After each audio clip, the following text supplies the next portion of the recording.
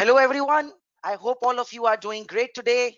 This is Ahmed with the big with the uh, day four of the ACCA's practice to pass uh, session and the practice to pass webinar.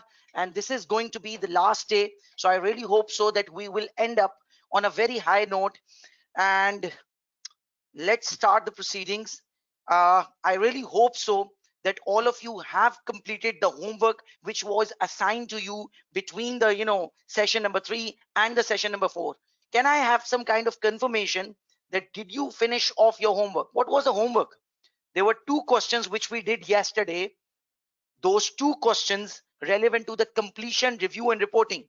Now i hope you remember that completion review and reporting will be you know you will be able to score 25 marks out of the 100 marks from this topic called completion review and reporting. So we did two questions yesterday both 25 marks each. So can i have confirmation that you did prepare? When i say prepare i really mean literally mean the, the word prepare according to my definition. Did you prepare those two questions? Or at least one question according to the technique? So so far Ayaz has prepared it. Anyone else?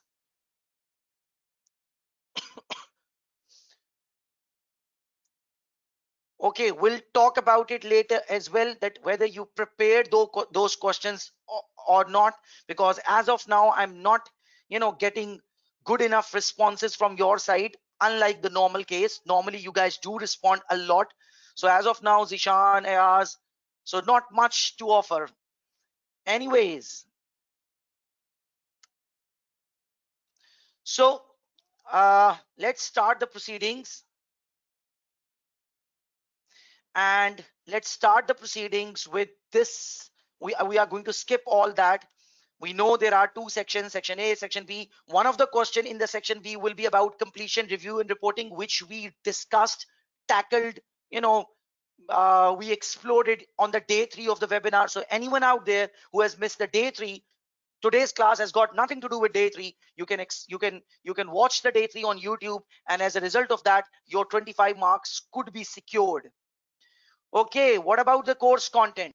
If you remember, I told you that the day one was about planning and conducting the audit of historical financial information. Basically, the day one was about the risk the risk of material misstatement, the business risk, and the professional marks. The day two was about professional and ethical considerations, along with quality control and practice management. Day three was all about completion, review, and reporting. Now we are, uh, you know, right at the start of the day four, which is the last day. And today we will be exploring other assignments or audit related services. Yes, the pass rate of AAA is very, very poor but we can bounce back. We have to be optimistic and aggressive. These are the two words you need to carry uh, in your mind in your body body language up to the point of monday 6 june 2022 two words optimistic and aggressive. What do i mean by being optimistic and aggressive?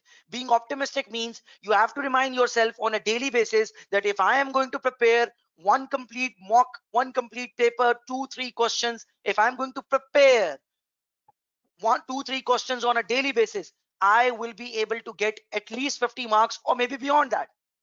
If I'll be, I, if I will end up getting 60, 70, 80, I don't mind, but at least I'll get 50. That's being optimistic. And what do I mean by being aggressive? Being aggressive means that you should not waste even a single day. Every day you have to be aggressive. You have to be honest with yourself. It's all about your future. It's not about your parents' future. It's not about your spouse future it's about your future. You have to decide whether you want to make it on monday 6 june 2022 or not. If you really want to make it you have to stay aggressive. And when i say aggressive you have to work hard. Without being over ambitious without having extraordinary pressures on yourself just stay focused. Follow the rituals. Follow the questions. Okay why students fail this exam so much? And I list down quite a few reasons, but along with that, I also told you how to counter those reasons. So the first possible reason why students fail this exam so much is the, you know, poor typing speed.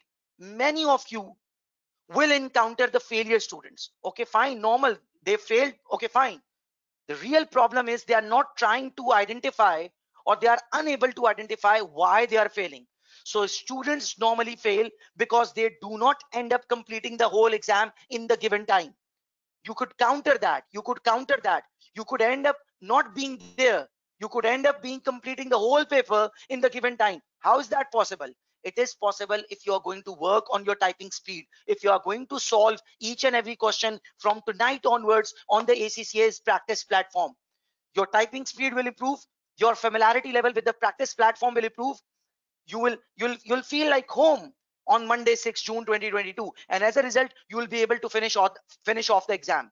Many students fail because they are not aware of the marking scheme. So for a 1.5 marker point they are writing six seven eight lines. There's no point. You could have squeezed it into three lines and you could have still managed to score 1.5 marks. So you need to know the marking scheme. If you attended the day one i think you should have realized that for eight marks business risk part we only required four business risk so what's the point of writing five six or seven business risk yes the solution had eight business risk but we need to follow the marking scheme that's the second reason why AAA has got such a high failure rate this is not a problem in double A. This is not a problem in PM exam. This is not a problem in tax exam, but this is a real hardcore problem in AAA. So we need to learn and we need to remind ourselves about the marking scheme on a daily basis we should stop idealizing the ideal answers. If you are going to look at an ideal answer if you are going to have a look at the past paper answer your your feet will start you know shaking. You will you will feel demoralized upset. You will you will start underrating yourself. You will you will have a feeling that i can never replicate that answer. You are absolutely right. You will not be able to replicate that answer. But the important thing is you don't have to replicate that you have to extract an attainable answer out of it. So when what do i mean by attainable answer? I think for that we have already invested day especially day one and even day two day three we have been trying to get an attainable answer out of that ideal answer which we can actually replicate in the final exam. Do not do not do not ignore your b and f. Now what what's bf well it could be best friend but for now bf stands for BF stands for professional and ethical considerations. Normally students ignore professional and ethical consideration because they incorrectly believe that they are already prepared for that because of their double A, which is completely not the case. When it comes to AAA, professional and ethical considerations are very deep, very deep. And do not ignore F. What's F? F is your other assignments, which is the agenda for the day there are five six other assignments or audit related assignments. So it's a very deep topic. And normally at the end of the syllabus at the end of the session at the end of month may at the end of month um, august or for that matter at the end of month november when the exams are around the corner students tend to you know realize they are running out of time. So they ignore this particular topic called other assignments and they tend to focus on other uh, syllabus areas. And as a result they lose some very valuable marks minimum 15 marks. So you you you, sh you should not ignore b and f you need to attempt two mock exams. So many of you are contacting me that okay i failed this exam one time two time. I need to make sure i pass this exam. My friend failed it three times. This is my first time. What should i do? Well my dear you got to attempt the mock exam if you are going to attempt the mock exam in strict exam conditions and then you will get it marked by an expert tutor i think your chances of passing this exam will shoot up skyrocket. If you will end up scoring 40 out of 100 in final exam by attempting two mock exams you will not jump to 50 rather you will jump from 40 to 60 mark my words. The mock exam is going to be a real game changer. So you got to you know decide for yourself whether you are so honest with yourself or not. Last but not the least i always encourage students to type type and type. What was our plan? We covered risk on the day one. We covered professional and ethical considerations along with a very tricky topic quality control on day two. We did completion review and reporting on day three. Uh, now we are heading towards other assignment, which is the agenda for the day four. Okay, I've been telling you all this thing. What should be your plan of action after the webinar? I think your plan of action should be very simple and straightforward. Step number one, you should watch all the four days of webinar. You should solve each and every question. You should rather prepare each and every question which we discussed directly or indirectly during the webinars. Once you are absolutely done with the webinars, you should focus on eight most recent past papers right now, which are listed right now in front of your screen. Then what? You should also go through their examiner's report. And when I say prepare, you got to type them, you got to learn them. You got to make some your own notes. You got to read five technical articles, which I'll be sharing tomorrow in the WhatsApp group. You got to master your professional marks on a daily basis.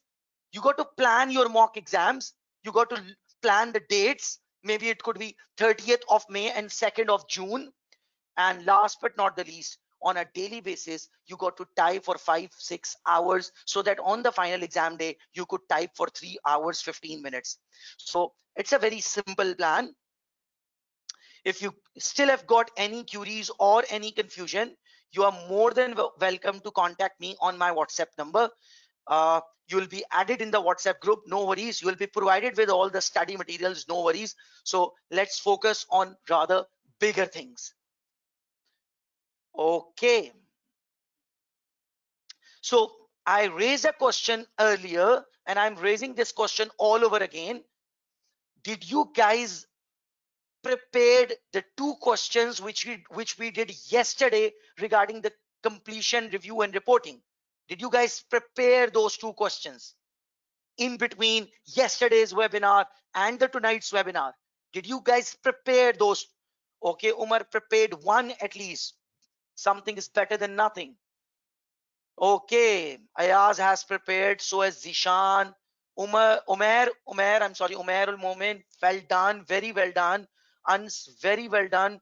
Taruna uh, it's not enough to read it i know you might be busy in your job or you know workload. You got to prepare. If you have read them out if your concepts are clear you might be able to clear the interview.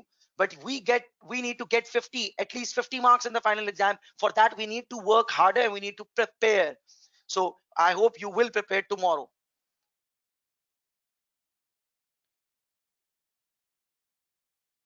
Okay taruna well done well done. Okay manoj uh, the weekend is around the corner you have to pull up your socks and you'll to you need to apply for the leaves as well Okay, Phillips, I prepared the two previous assignment, but not the third one. Sorry about that. No problems. Just make sure before moving on to the master plan, the whole set of webinar is, you know, crystal clear, well prepared. Okay, uh, this is it for now. Okay, before we start today's proceedings, I just want all of you to realize that yes, I do remember that I need to let you know about the marking scheme relevant to the audit risk question, especially that analytical procedure question. Don't worry, we'll explore that at the end. So I do remember that.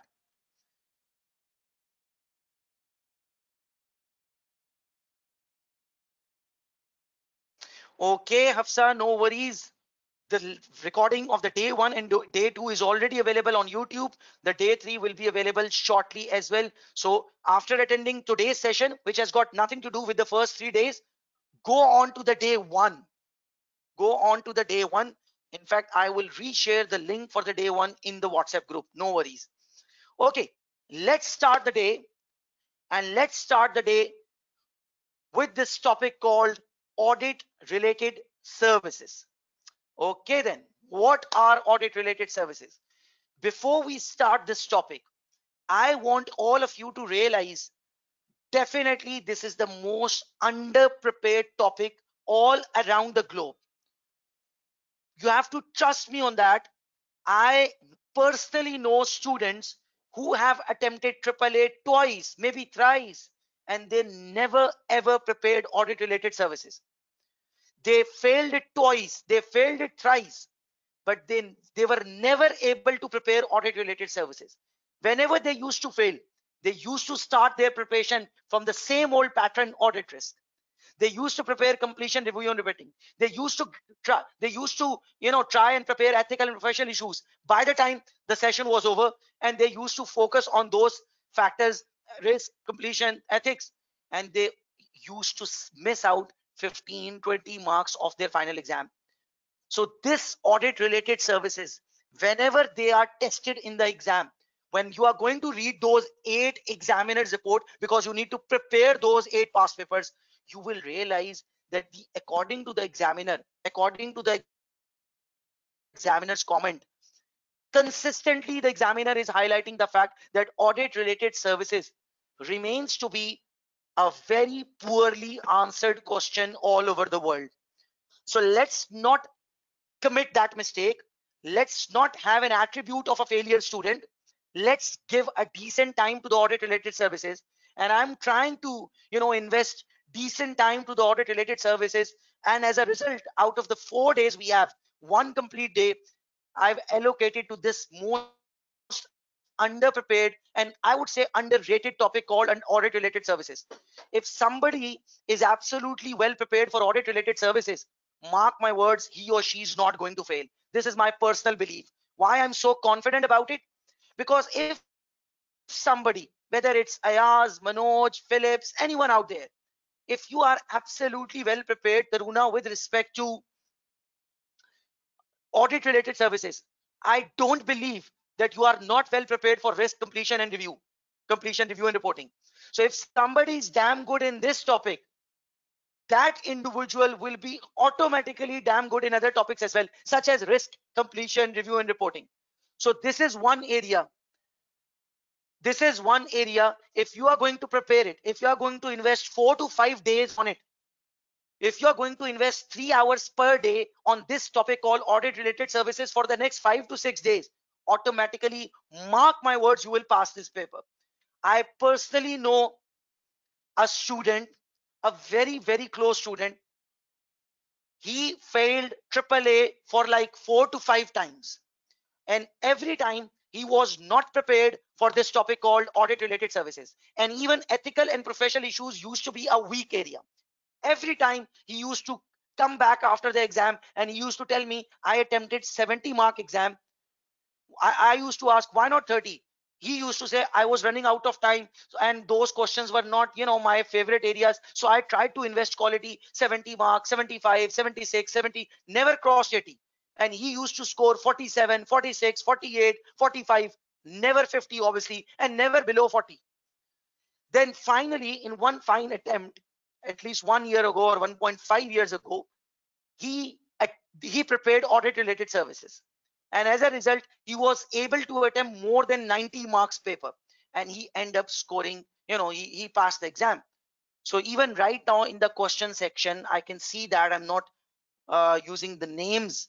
I can see that you guys are you know you're absolutely right. There are students who are you know uh, sharing their experiences that they have failed it on numerous occasions. And they are saying that they have always scored among their their score is always in between 40 45 47 and they have never attempted audit related services in their final exam. Now i think this particular moment is the most important moment of the you know four days of webinars if you could learn a thing out of it. So this is it from my side before we start the audit related services. Amir muawiya you will get the link for the whatsapp group. Otherwise uh, first of all you'll get it in the answer section. Otherwise you will contact me and i will send you the invitation. No worries. Focus on the lecture as of now. Thank you. Don't worry. Okay i'm too excited to start this topic called audit related services. Okay before we move on what do i mean by audit related services? Services provided by an audit firm but not exactly a typical audit but relevant to the audit. So typical techniques such as planning, risk assessment, procedures, review, reporting, in fact, consideration before accepting a new client, all those will be applicable, but they are not a typical statutory external audit of a company. That's why this topic is called audit related services. So all of you out, out there who have failed unfortunately AAA so many times I just want you to realize that you know this topic, guys. This is not unusual. This is not new. You know what's planning. You know there are certain factors which you need to consider before accepting a client.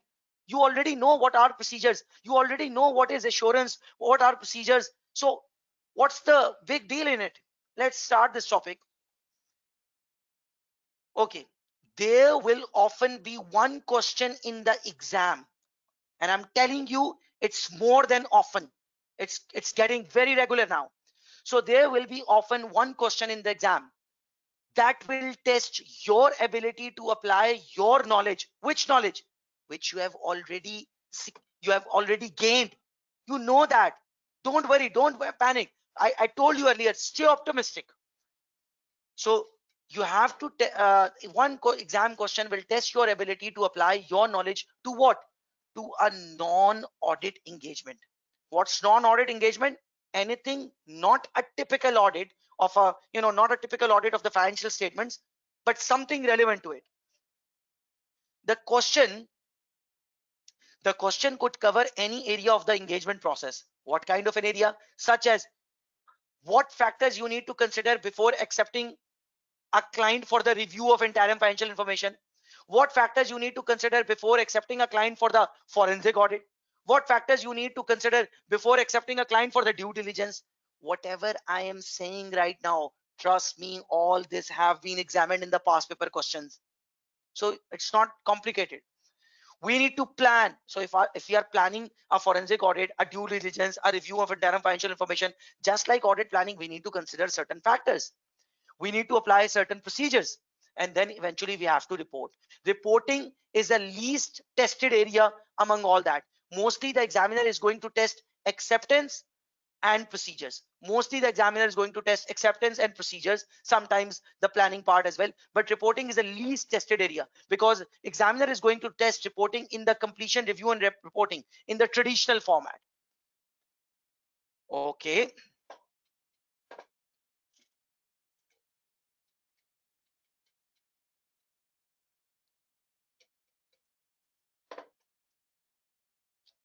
Okay, Javed, I'll I'll I'll get back to you on this. Uh, we'll, we'll we can talk about it.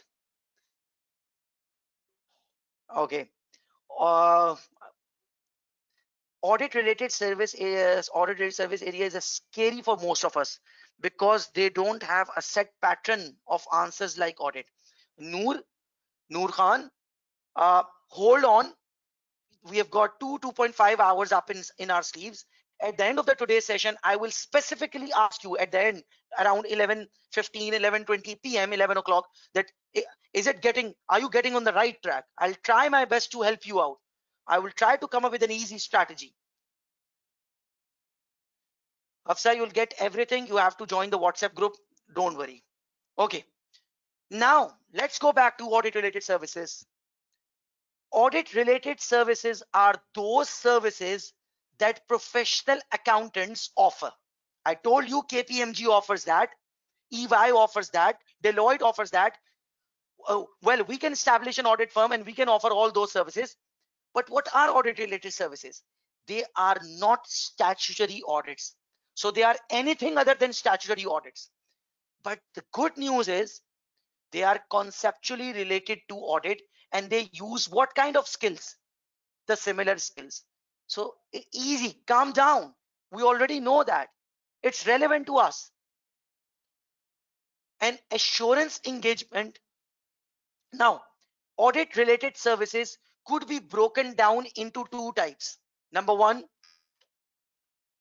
assurance related services could be further broken down into two types. Number one,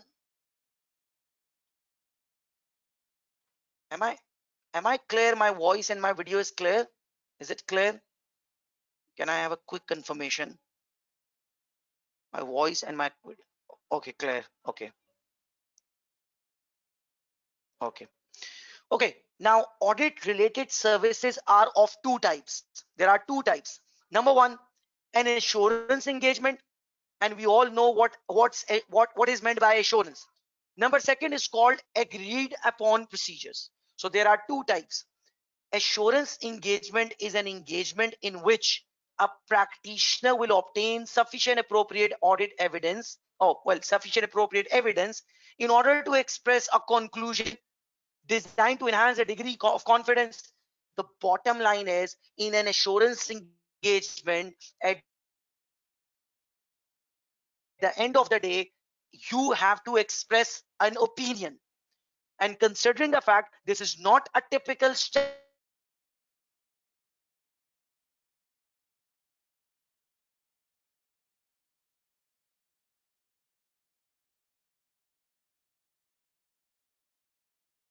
a second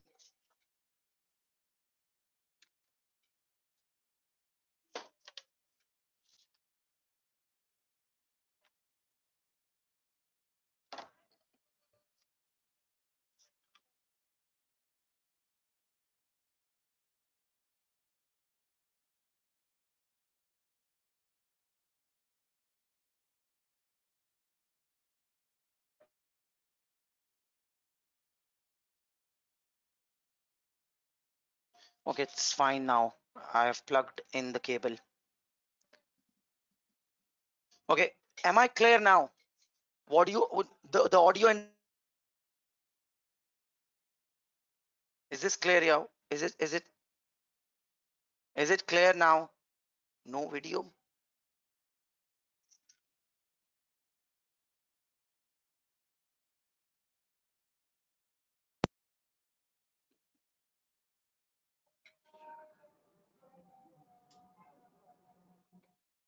give me a second.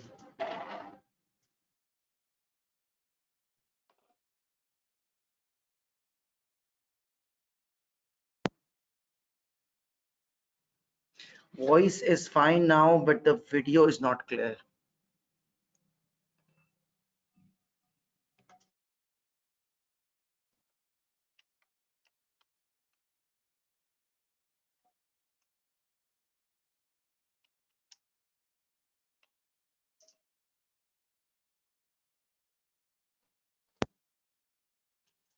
well uh, unfortunately if that is the case we can continue without the video but do let me know. Okay i'll try it after a while. Don't worry. I'll try. Okay.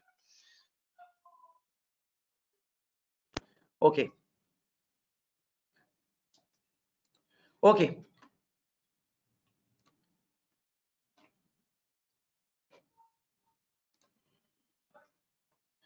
okay. So uh, i was telling you that this audit related services can be broken down into two types. Number one an assurance engagement where a, where an auditor has to express an opinion. Number two an agreed upon procedures. Now what do i mean by agreed upon procedures? Agreed upon procedure means that the client will tell you that they need findings on certain things so you will only apply procedures in order to confirm, in order to verify whatever they are looking for. So agreed upon procedures required the accountant to report on the factual findings based upon the procedures agreed with the client. So the client has agreed that I need you to confirm this, I need you to confirm that, I need you to confirm this. So you will not come up with a conclusion at the end of the day. You will not express your opinion. You will only answer those questions So this is what we call agreed procedures. So there are two types of audit related services. One where we are going to express an opinion. Two where we are not going to express an opinion. See what's there. Hence no assurance, no conclusion, or I would say no opinion is expressed.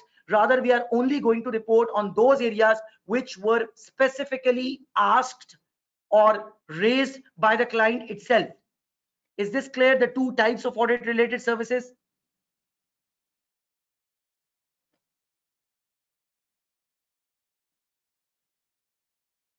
Okay. Uh, can I again have a confirmation because it's bothering me? Am I, am I, you know, clear? Can you see the video now?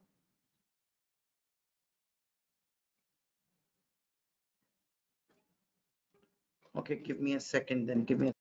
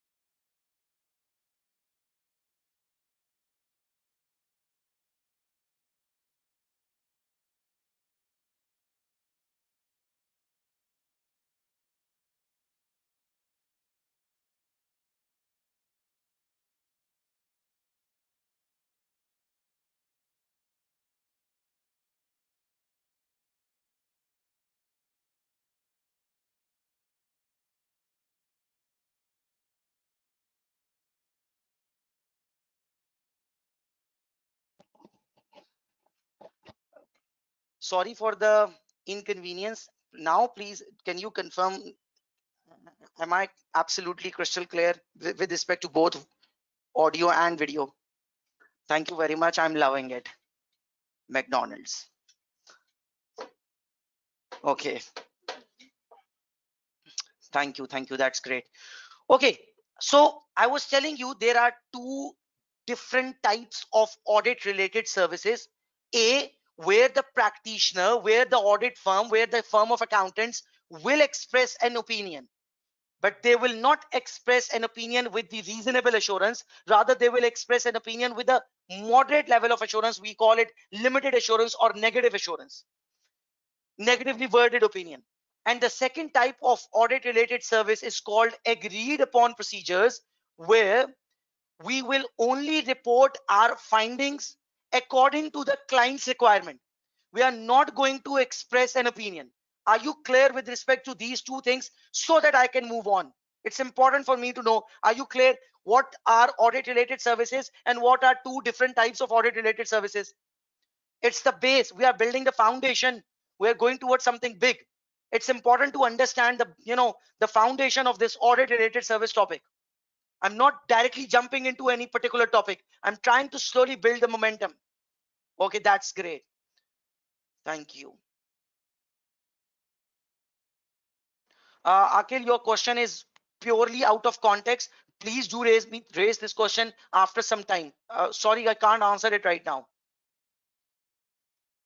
Okay, just a quick repetition of whatever we have started so far. We have started a topic called audit related services. This is going to be for 15 to 20 marks in your final exam. Audit related service are 90% just like the audit. All those things, planning, acceptance consideration, reporting procedures, but they are different to statutory audit. Now, audit related services could be further divided into two categories. Number one, where the audit firm will provide assurance. And number second, where the audit firm will not provide assurance. When I say the audit firm will provide assurance, it means the auditor will express an opinion the conclusion, the limited assurance opinion. But where the auditor will not provide assurance or will not provide the opinion, we call it agreed upon procedures. So assurance engagement is the type number one of the audit related service and the agreed upon procedures is the type number two of the audit related services. Agreed upon procedure means we will only work in accordance with the instructions or the guidelines or the requirement of the client. So the client has asked me about certain things. I will work on them and I'll answer. I will not conclude. I will not come up with my opinion. With my opinion. Okay. If you are clear up to this point, let's see what are the different types of assurance engagements and what are the different types of agreed upon procedures assurance engagements which is the type number one of audit related services or we call it non-audit engagements include the number one non-audit engagement is called review of interim financial statements. It's been a while that this particular thing has not been tested in AAA. What do I mean by review of interim financial statements? You all know there are certain companies which are exempt from, from audit. So that company may be small in size. They might go for a review of interim financial statements or maybe a company is too big and they would like to you know divide their uh, you know audit work. So they will ask maybe they they will ask their existing auditor to review their interim financial statements. That particular engagement that particular assignment is not your typical audit but it is relevant to audit and it's called first non-audit engagement and the name of that is called review of interim financial statements. Review is you can you can imagine it's a baby version of the audit Second assurance related or assurance engagement, it's called due diligence. Due diligence means that if I have to purchase company X, I would like to get an expert opinion from you. Maybe you are my external auditor, maybe you are not my external auditor. I will ask you that I'm looking forward to purchase company X. Could you help me? Uh, well, help me in what?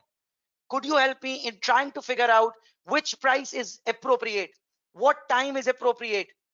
So uh, will i be able to you know create the synergies i'm looking forward to? That particular assignment where you will help me out in figuring out in you know concluding and evaluating whether that particular purchase is appropriate for me or not that particular acquisition is good enough for me or not that particular assignment is called due diligence assignment. Number third assurance engagement is called examination of prospective financial information. In the last attempt the examiner has tested this one. Examination of prospective financial information means a client has prepared financial information but a forward looking one. Prospective forecasted cash flow statements forecasted financial statements. And you as an auditor has to you know perform certain procedures and you need to express an opinion and that opinion will be a limited assurance opinion. That's why it's called assurance engagement because you are supposed to express an opinion on that prospective financial information. Maybe that prospective financial information has got to do with certain loans you know a, a confirmation of the company's going concern or anything like that.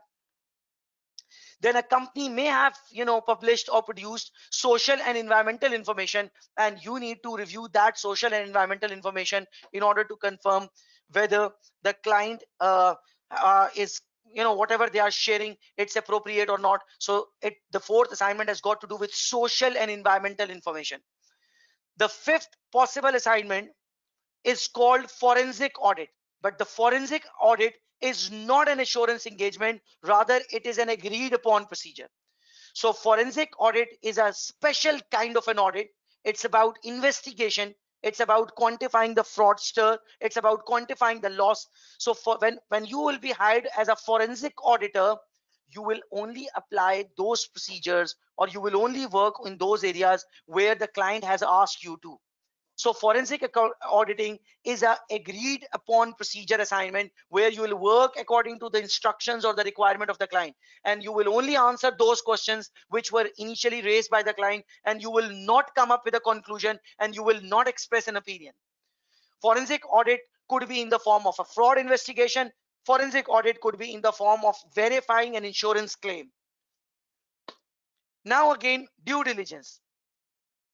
Due diligence is the most one of the most important audit related service why is that? Because due diligence could be in the form of assurance engagement where you have to express an opinion or due diligence could be in the form of agreed upon procedures where you don't have to express an opinion. Rather you have to answer those questions which were raised by the client. So due diligence has got both attributes. It could be in the form of assurance it could be in the form of assurance engagement. It could be in the form of agreed upon procedures.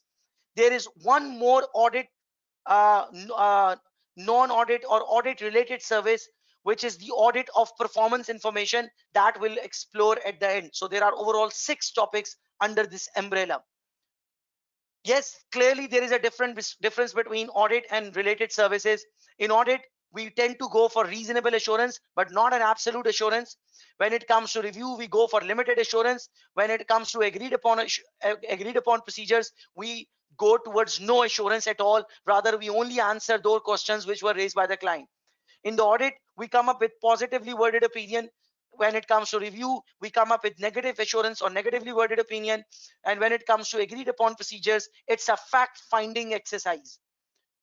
Uh, well, you all know the difference between the different types of assurances, the level of work, uh, audit is required by according to law in many countries those audit related services are usually not required by any law. So that was a background about the audit related services. That was uh, you know at some kind of a differentiation between the audit and audit related services that was a brief introduction of overall the different topics of audit related services is this clear Okay, Farah has asked a question. What is limited review? We'll explore that in a short while. Farah, hold on. Uh, Mohammed Ayaz, what is the limited opinion? Limited assurance, not limited opinion. In limited assurance or in a negatively worded opinion, will express a very moderate level of assurance. In the audit, we end up having high level of assurance, which is called reasonable assurance. We cannot provide guarantees, so there is no absolute assurance.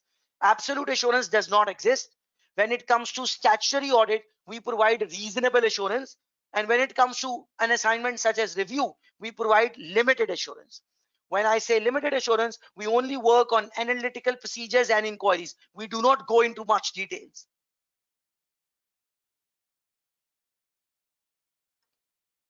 Can detection of fraud lead to change in audit opinion?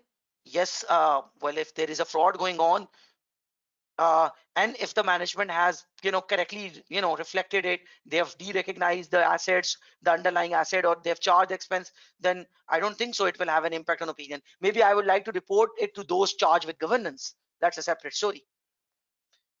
Okay let's let's start. We have got overall six topics. Let's start the first topic which is called the review of interim financial information. Review of interim financial information. So in many countries, the listed companies are required to publish a half yearly interim report containing a summarized statement of profit or loss for the first six months of the financial year, as well as certain statement of financial position. So there are certain countries where at the end of the first six months, you need to publish the profit or loss account and an extract of the statement of financial position. Now that company can choose to get it audit, but the, not the typical audit. So that company will have what? They will go for a review of that financial information. So we call it review of the fi interim financial information. Okay.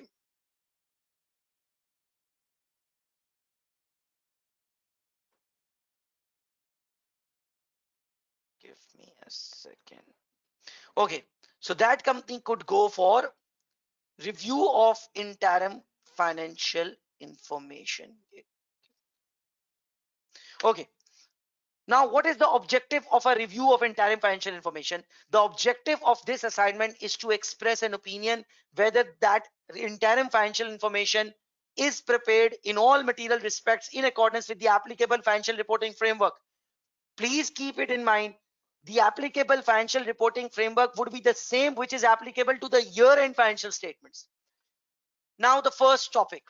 Every audit related service will have the same pattern. For every audit related service, you have to consider the acceptance considerations.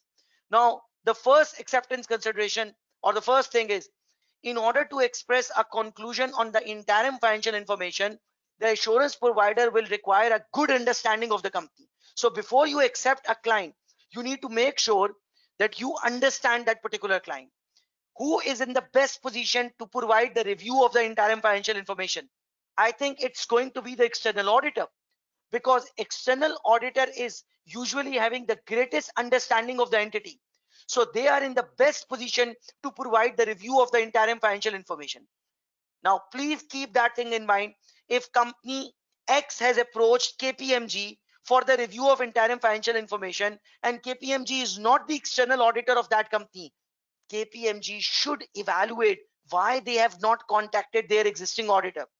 Therefore, if the company approaches a different firm to provide the service, the audit firm should consider the reasons behind it, why they are not contacting their existing auditor. Because existing auditor is in the best position to perform the review of the interim financial information because they are the one who has to perform the audit. The engagement is likely to be a recurring engagement. Therefore, engagement fee will need to be considered when assessing the fee dependency. There is a possibility that external auditor is not accepting this, this particular assignment because that could create you know extraordinary fee for them the overall fee level would be significant and that could lead to self-interest threat so before accepting a client with respect to review of interim financial information you need to consider this particular issue. But along with that the typical acceptance consideration which are covered in the chapter number six of the book you should be familiar with all that. What are those factors? Triple p triple r IMMF it's a mnemonic which I always use. Preconditions, professional competence and due care, uh, risk, uh, integrity of the management, risk, resources, money laundering, fee. So you need to consider all those factors. But along with that, you need to consider why they are not contacting their existing auditor if that is the case. So this is what we call acceptance consideration for a review engagement. Now, once you are planning and performing a review engagement, you need to make sure you are complying with the ethical requirements. You need to make sure you are not compromising on the quality. You need to make sure that you have got the necessary competence and resources available to do that and you need to maintain your professional skepticism so these are the principles which you need to apply when you are planning and performing a review engagement last but not the least we are done with this topic trust me we are done with this topic last but not the least what kind of procedures you are going to apply if you are performing a review of the interim financial information so if you are performing a review of the interim financial information, what kind of procedures you will apply? I think you are going to apply two types of procedures. A, you will focus on inquiries with the management. B, you will heavily rely on analytical procedures. So these are the two procedures which you are going to apply when you are performing a review of the interim financial information. Other review procedures to obtain sufficient appropriate evidence could be you have to apply analytical procedures. What are analytical procedures?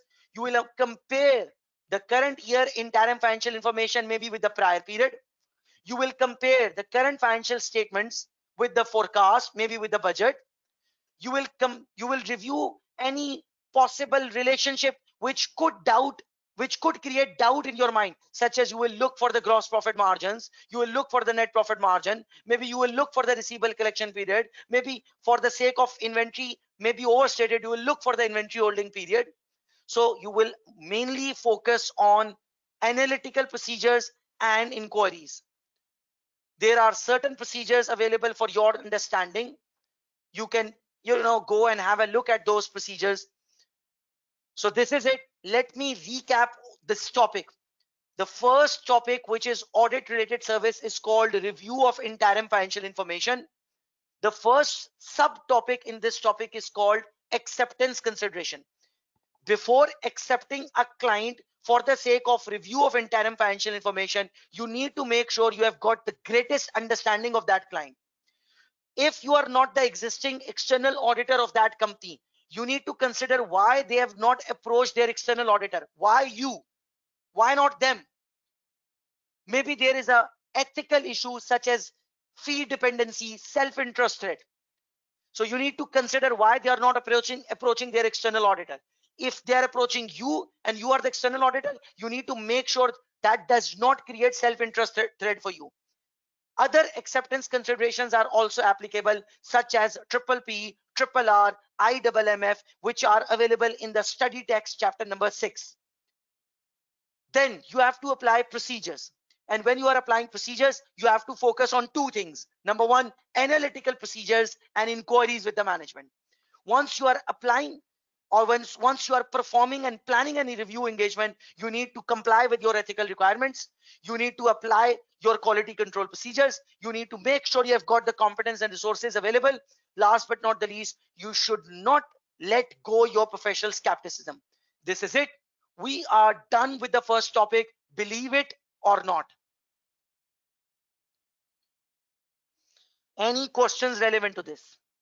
Okay, let's start the questions. Farah, are you clear now? What is limited limited review? Are you clear? Mohammad Ayaz, what is it?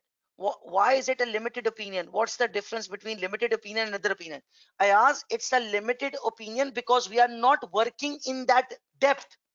We are only relying on two things, inquiries and analytical procedures. It's not an audit. Client is not going to pay me that great fee. It's not a statutory audit. The public is not that much interested. The client is not that interested it's a voluntary assignment. So i am going to work in accordance with the fee. I'm going to work in accordance with the expectations. I'm not going to work in that great depth. My sample size will be reduced. I will only focus on you know limited data limited work. Are you clear ayaz? What is the difference between reason reasonable assurance and limited assurance is non-assurance more risky Nasheer? No, not really. Not really, because the stakeholders are not, you know, that much. They're not that much bothered. So it's not the case. It's not the the risky thing is audit. Always the audit. no need to calculate ratios why not you you might need to calculate ratios in analytical procedures all are all about you know comparisons. The comparisons could be financial with non-financial ratios trends percentage increase receivable collection period. Omar are you clear now? You could you might need to calculate ratios when you are performing a review of the interim financial information. Should we set preliminary materiality? Uh, well we would.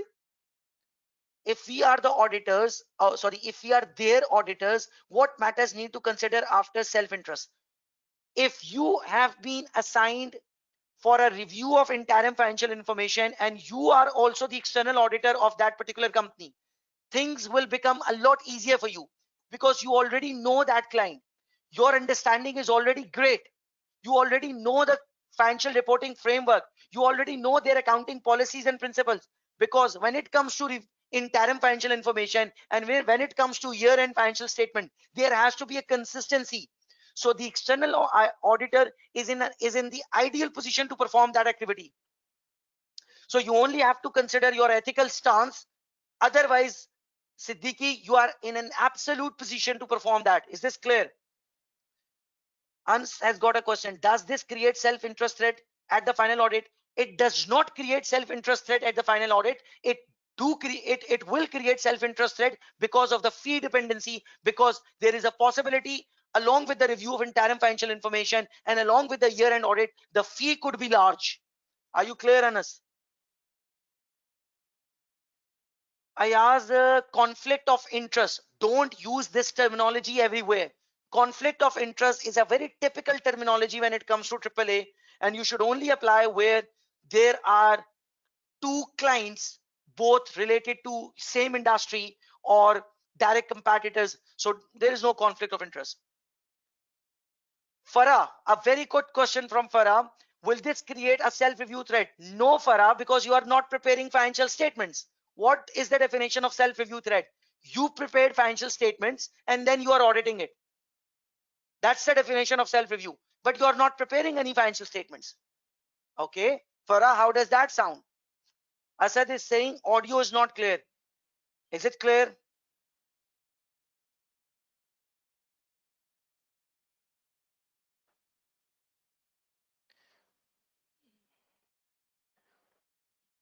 Okay, sir, could you elaborate? B, uh, uh, it's not about BBB, it's about triple P, triple R, I double M F. Uh, well, Akil, I will share my personal notes on triple P, triple R, IMMF in the WhatsApp group. If even then, open up your study text, check out the chapter number six. Over there, there is a topic called what factors you need to consider before accepting a client, whether it's an audit client or a non-audit client. You need to get professional clearance. You need to check your professional competence. You need to evaluate preconditions for an audit. You need to check your resources. You need to check the integrity of the management. You need to check money laundering. It's called client due diligence. Is this clear? Is this clear akil akil is this clear and everyone with the triple p triple r i double m f you need to check the fee level f stands for fee okay umar i'll check it out I'll check it out and I'll let you know.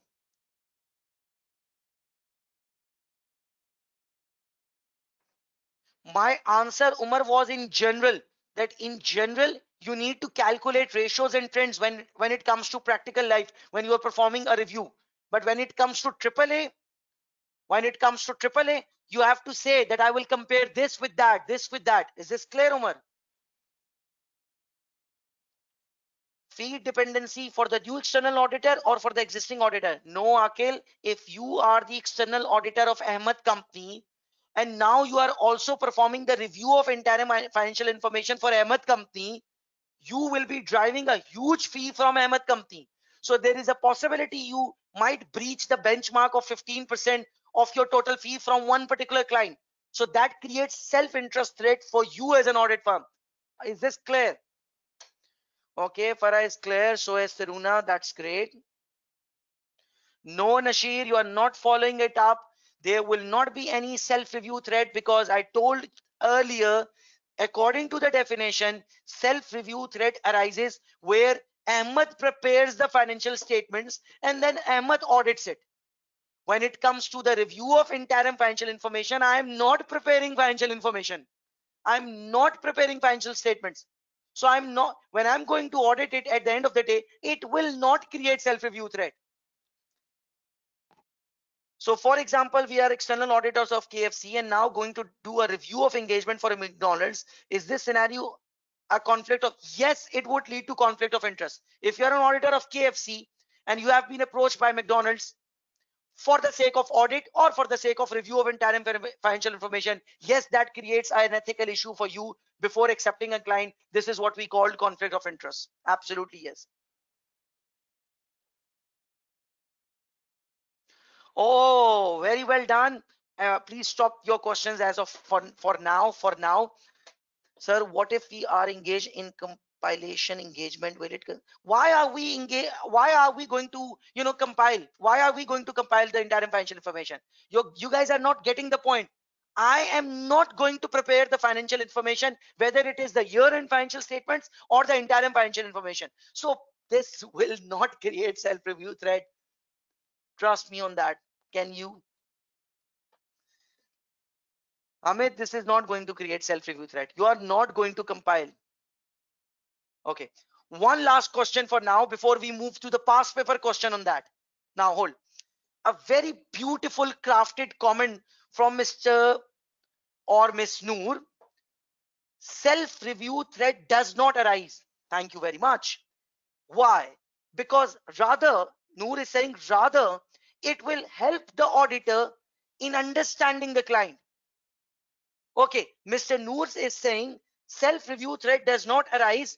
It rather help us to have deep understanding. Yes, it will help me at the end of the day in performing the external audit. It will help me in performing the review of interim financial information because I am focused on one client. Review of interim financial information is a subset, a baby version of the year-end audit. So the things are going to be a lot easier for the audit firm. Is this clear? And it will not create self-review threat. That's great. Okay, Noor, thank you very much. Now, I would like to raise a past paper question in front of you. This question is from your exam kit. The name of this question is called Square and we'll be you know quick with that let's straight away jump into the exam requirement. We are not going to have discussion on part b because the part b is relevant to ethical issues and professional issues. Let's ignore that. What about part a? Explain the principal analytical procedures the word analytical procedures. So i told you when it comes to the interim financial information there are two types of procedures. Number one inquiries with the management. Number two, analytical procedures. Now the question is specifically asking you for what? Analytical procedures. So you should not apply any inquiries. If you are going to apply inquiries, you will get no marks. Explain the principal analytical procedures that should be used by the audit firm, by the auditor, by the practitioner to gather evidence in a review of interim financial information what would be the marking scheme? Seven marks, seven procedures, happy ending. Part two, assess the matters that should be considered in forming a conclusion on Square companies interim financial statements. What factors you are going to consider? Same old thing. We will consider the materiality. We will consider the underlying accounting rule or standard. We'll consider what uh, what could be the risk? What what mistake could have been made by the client? And we'll consider if the if the accounting treatment is not correct by the client what impact it could have on the audit report or audit opinion. So it's not extraordinary different from what we have already studied so far. We'll consider the materiality. We'll consider the relevant accounting rules. We'll consider the risk. What if the client has not made compliance with the standard? It if it is material it could lead to qualified opinion all that stuff so six marks, assess the matters I hope we'll be able to figure out two matters in order to get six marks because I know I'll be able to explore three marks out of one matter. Now, I just need a confirmation from you guys. Are you clear with the marking scheme?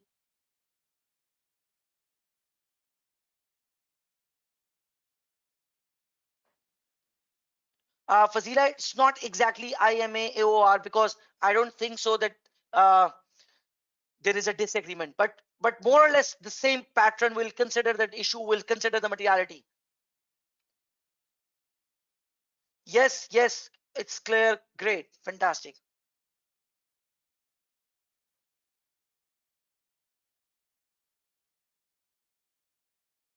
Yes, Noor, you are right. Okay, great. Let's read the question without wasting further more time.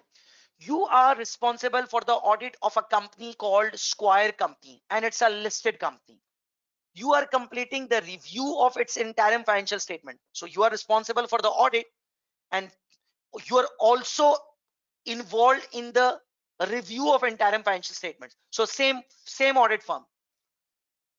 You are completing the review of its interim financial statements for the six months ended 31st October 20x7. Square Company is a car manufacturer, and historically they has uh, historically they have offered a three-year warranty on cars sold. Pretty normal, right? The financial statements for the year ended 30th April 20x7 included a warranty provision of 1.5 million recognized and recognized total assets of 27.5. So at the year end, they were having a warranty provision of 1.5 million and their total assets were 27.5. You are aware on 1st July 20x7, due to cost cutting measures, the company has stopped offering warranties on cars sold. What's the six month end period? 31st October. And when they stopped the uh, warranty on 1st July. So they stopped in for July, August, September, October. So among this six month period, in the four month, they did not offer the warranties, but they did offer warranties in the first two months of this six month period. And those warranties which they offered before that period, they will they would be applicable and active now because those those warranties, those sales they made are still, you know, the warranty period is still on. They the say three three year period have, have not lapsed you are aware that on 1st July, like four months ago, due to cost cutting measure, the company stopped offering warranties. The interim financial statements for the six months ended 31st October do not recognize any warranty provision.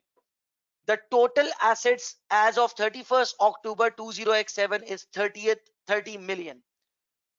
What did you get out of it? Well, let me explain what's the story my client has been offering three-year warranties on all the cars sold. In the recent past, like four months ago, they stopped the warranty. They stopped offering warranties. Okay, if they are going to stop offering warranty, I I agree that the year-end warranty could go down, but I don't believe it that the year-end warranty could be zero. I don't buy this. Why? Because in the period ended six months, there were two months where they did offer warranty. So what about the warranties relevant to two, those two months? There could be claims. And even those warranties which they sold prior to prior to this period, there could be warranty claims. Those warranty claims are still on. Like what about they they sold a car two years ago? So the warranty period is still left for one year. So I I don't think so that their idea of not recognizing any provision at all is appropriate. So you will discuss that issue that what, what, what, how are you going to answer this question? Definitely you are going to start with the, you know, calculation on materiality. If 1.5 was uh, uh 1.5 million out of 27.5 million, you will check the materiality from the last period. And again, you will check that, that it is going to be material for this year as well and after having discussion on materiality you will have a discussion on IAS 37 provision. You will say yes there exists a past there exists a present obligation because of the past event. What past event? You made those sales and the warranty is still on. That warranty period has not lapsed lapsed as yet. So you can't you know you know you can't come up with zero warranty provisions out uh, all of a sudden so if the client is not willing to recognize those warranty provision definitely considering or assuming it is material it could lead to qualified opinion. Maybe the client is not willing to recognize a provision because they want to portray a better picture they want to understate their liabilities.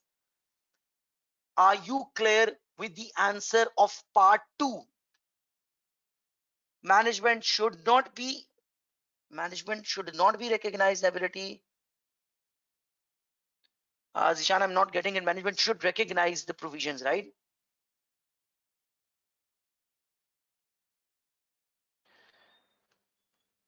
Okay, Akhil, we will explore the marking scheme. Uh, if I won't be able to explore the marking scheme uh, during tonight's session, I will explore the marking scheme uh, in the WhatsApp group. Don't worry. But otherwise, today I need to explore the marking scheme uh, of the risk question using analytical procedures. Now, what about part one? Explain the principal analytical procedures. What analytical procedures you are going to perform. Your analytical procedures should not be restricted to that provision. You can compare your this year's revenue with the last year. You can compare this year's revenue with the corresponding period's uh, revenue. You can compare their, their you know financial information with the budgeted or forecasted period. You can even calculate their you know receivable collection period and certain other ratios in order to make sure there is a you know consistency. So this is how you can work on that.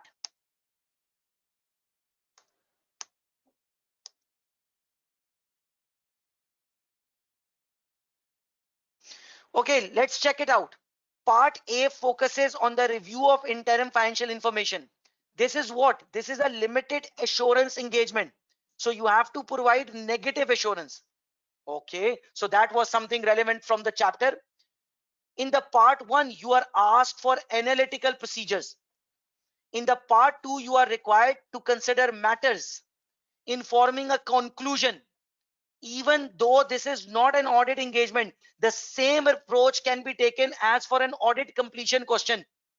Is this clear are you happy now? So what about the part one? You can compare the interim financial information with the anticipated results. You can compare the interim financial information with the preceding period's result or maybe with the corresponding interim financial period's result. You can compare certain ratios and indicators with those of the entities in the same industry, you know, some competitor you can compare their disaggregated data. Maybe their revenue on a car by car basis. Maybe their revenue on a month by month basis. You can calculate the warranty provision and compare it with the you know um, with the sales make sure they're they they have finally recognized the warranty provision after your instructions. So this is what you are going to apply for the part one for the part two, you already know how uh, you are going to deal this answer. First of all, you are going to understand that this is a review of interim financial information. You will apply the IAS 37 provision. You will discuss the materiality. You will say it represents 5.5% of the assets, so it is material. You will also express that the interim financial information has to be in line with the year-end financial statement. Same IFRS should apply. Same financial reporting standard should apply. So they need to follow the IAS 37. So considering it is material, if they are not going to adjust it, if the amount remains unadjusted, unadjusted, it means that the interim financial statement contains a material departure from the applicable financial reporting framework. And this is going to create a modification on the auditor's opinion and the auditor's opinion will be a qualified opinion and in the basis for qualified opinion paragraph you will express uh, that you have got you have got reservation on that so based on our review, with the exception of this matter in the preceding paragraph, nothing has come to our attention. This is the negatively worded opinion. Nothing has come to our attention, but except for the matter above. So this is finally an audit engagement should consider whether it is possible to withdraw. Okay, let's ignore this sentence. You can ignore from this engagement if, if the client is not willing to make that adjustment, but ignore that. So is this clear? Will you be able to, no, not a contingent liability. The client should not disclose the contingent liability. They should recognize the provision, Umar. Yes, IAS 37 provision, provision, provision. Is this clear? can i have some kind of confirmation now will you be able to prepare this particular topic from your study text and will you be able to prepare this question called square on the review of interim financial information the audit report will be same on us except for the fact that you will say nothing has come to our attention. That's what we call negatively worded opinion. I'm not going into details of this because this is the basic stuff from the chapter number one of the double a. Is this clear? Is this clear anas? What is the marking scheme? One mark one procedure. And for the part two there are marks available for materiality there are marks mark available for the discussion on uh, discussion of the accounting standard. There is a mark available on the discussion. If the client is unwilling to adjust the financial statement you will come up with a you know qualified opinion. So there are marks for every point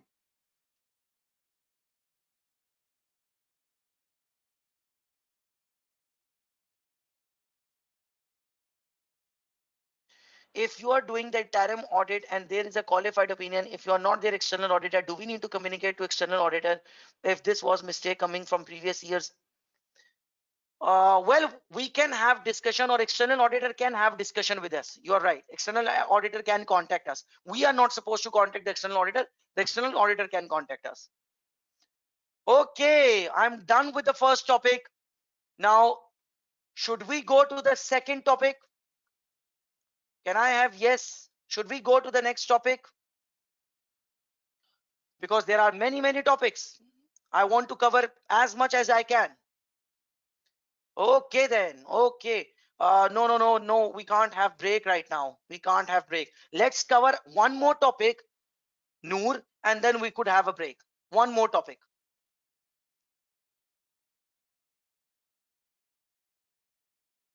Okay one more topic then we could have a break. Don't worry. Second topic of the day and the second topic of the day is called due diligence. And i don't know why but it is one of my personal favorite topic. And it is one of the most tricky topic as well. And it is very important and very tricky because due diligence could be tested in the form of an assurance engagement. Obviously limited assurance not a reasonable because reasonable is only for external audits. And due diligence could be tested in the form of agreed upon procedures. Is this clear? That due diligence is an all is an all-rounder. Due diligence can bat due diligence can ball. Is this clear? So let's explore due diligence what is due diligence? First of all the basic definition. Never ever jump into this past paper question on of any audit related service. This is a mistake which many uh, students commit. Don't go into the question directly. Let's build the momentum. Let's build let's try to understand what this assignment is because we haven't worked uh, for this particular assignment in the practical life. If even if you are an audit trainee if even even if you are working in an audit firm you haven't you know you you are yet to deal with such an assignment. So due diligence is a fact finding exercise. We are trying to investigate something. Usually it is conducted to reduce the risk of making poor investment decisions.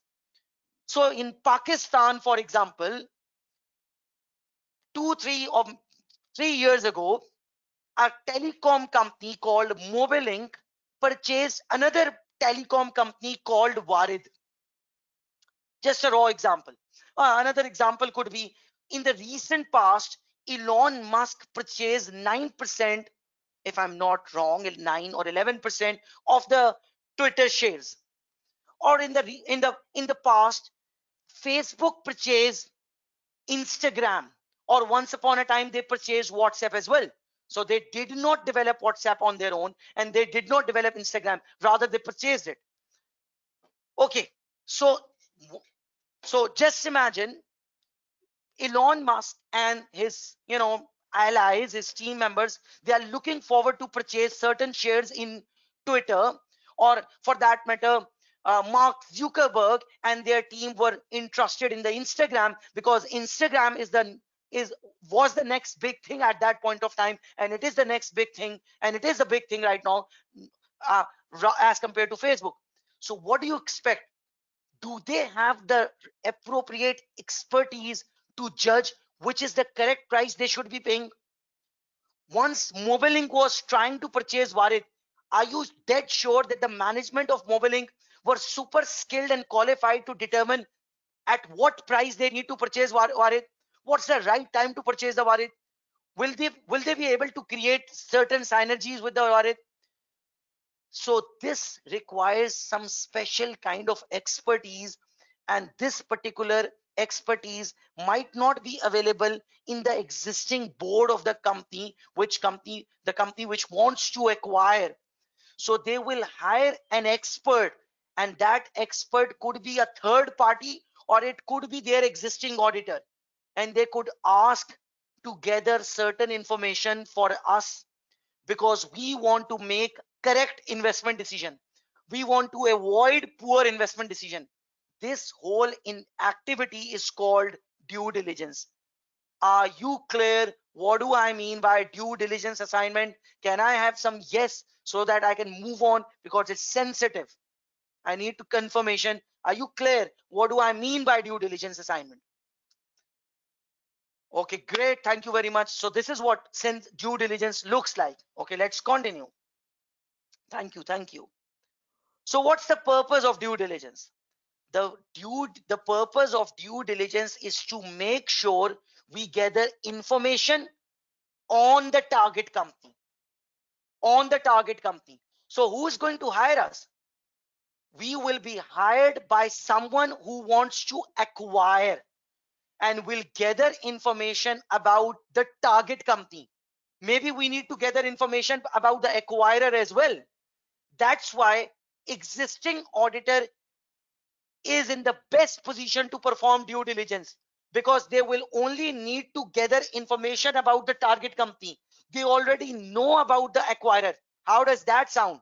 So who is in the ideal position to perform a due diligence assignment? Again, the external auditor.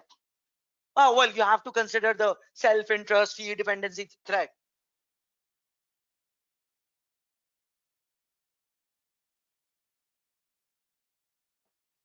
Akil has raised a question. When we are performing a due diligence assignment, do we directly, you know, investigate the internal data of the target company or the internal data of the acquiree or do we do google it or do we perform everything we will try to gather information from all possible sources. So let's move on. All your question will be answered automatically in next 10 minutes. Uh, okay what's the purpose of due diligence? I think the greatest purpose is to reveal potential problems. What does what is problem? Something bad. What do i mean by potential problem? Something which is going to be bad in the future. So as a acquirer. As a acquirer i want to know the potential problems in advance and that's why i'm going to hire you as an expert. I don't want to be making decision with my eyes closed. I want you to let me know. I want you to give me the clarity. So i want to realize the potential problems in advance. I want you to make me help. I want you to make me decide whether i should go ahead with the acquisition or not i want you to help me to decide when i should go for the acquisition what's the right time i want you to help me in trying to figure out what should be the correct amount which I should be paying. For that, you will explore the assets and the liabilities of the target company. All that activity. What's the greatest purpose of due diligence? It will increase the stakeholder confidence. It will increase the confidence of the stakeholders. Maybe the bank will provide the loan for the sake of this acquisition because bank is confident now that the board of directors are making a right acquisition. Are you clear? What's the purpose of the due diligence assignment all over the world? Can i have yes so that i can move on? These are very sensitive things. What's the purpose of acquisition? To open up our eyes. That's great. Thank you very much for the confirmation. That thank you very much. That's great ayaz noor phillips taruna thank you. Okay the due diligence provider will need to look. Now imagine yourself as someone who will provide the due diligence service. Just imagine yourself as KPMG. You are the external auditor of company Ahmed and you are also providing the due diligence service to company Ahmed because company Ahmed wants to acquire a professional body called ACCA. Okay, you need to look for the current issues affecting the company because you need to tell me those current issues. You need to look for the prospects for the future. You need to look for the future of the you know target company. You need to look for the past performance of the target company. You need to figure out what's the main purpose of due diligence. You will ask me, the acquirer, Ahmed, why do you want to acquire this company? Please share your specific reasons or objectives so that we could work according to that. So that we could gather the perfect knowledge or the full knowledge for you regarding that target company. So these are the things. As a due diligence provider, you will look for the financial performance and position of the target company. You will look for the operational matters of the target company you will look for the market position and commercial matters of the target company. You will look for the legal matters which could arise or, or which are going on with respect to target company. You will look for the tax matters especially if the target company is overseas company. You will look for the hr matters. Why hr matters are important? Maybe once you will acquire the target company all those employees which are contractual. All those directors which are contractual they might withdraw they might leave they might be released from their contracts. So we need to understand the hr matters. As a due diligence provider you need to look all those factors and you need to align all those factors with the acquirer. So you need to make sure that you are you know creating a relationship between the target company and the acquirer with respect to all these factors. What will happen after this activity? The acquiring company may decide that the issues and the risk identified are so significant, so big, and they may decide that we are not going ahead with this acquisition or even there is a possibility after realizing the potential problems after realizing the hr matters after realizing certain legal issues after realizing certain financial performance and position the target the acquirer will negotiate a reduced price because they will use all those cards in order to reduce their you know bid. They will reduce the you know fee or, or reduce the amount they are they are willing to pay is this clear? Yes, this is going to be a great advantage, Nashir, this due diligence activity.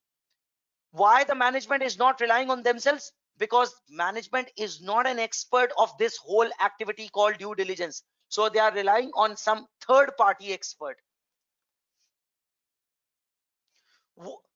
Now, as I told you earlier, this due diligence assign due diligence assignment is an all-rounder it could be exercised in the form of agreed upon procedures and it could be exercised as a as an assurance engagement. If it is an assurance engagement at the end of the day you have to express an opinion. And it could be an agreed upon procedure where you will only answer those questions which the client requested. So remember due diligence can be you know considered in both ways what are the benefits of due diligence assignment? I think it decreases the management time spent on assessing the acquisition decision. So they will focus on their main activities and they will outsource this this particular assignment to someone else. Operational issues and risk will be identified on a timely basis. The liabilities will be evaluated. Even the assets will be evaluated. The information will be gathered it will enhance the credibility of the investment decision. As i told you earlier the stakeholder will feel confident. It will help in planning the acquisition. So all those are the benefits or the advantages of due diligence. Are you all clear with this? Can i have confirmation? Are you all clear yes daniel you are absolutely right. The acquirer could use certain elements for the sake of negotiations. You are absolutely right. What if the acquiree don't want to sell the company but still acquirer is interested? Uh, well that could happen. The management might not be interested. The target company's management might not be you know interested. They do not wish to be acquired. But if the shareholders are willing well the execution will go on uh, the acquisition will go on. Okay all of you are clear. Now all that was a build up all that was for your knowledge. Now same old routine. What are the acceptance consideration before the due diligence?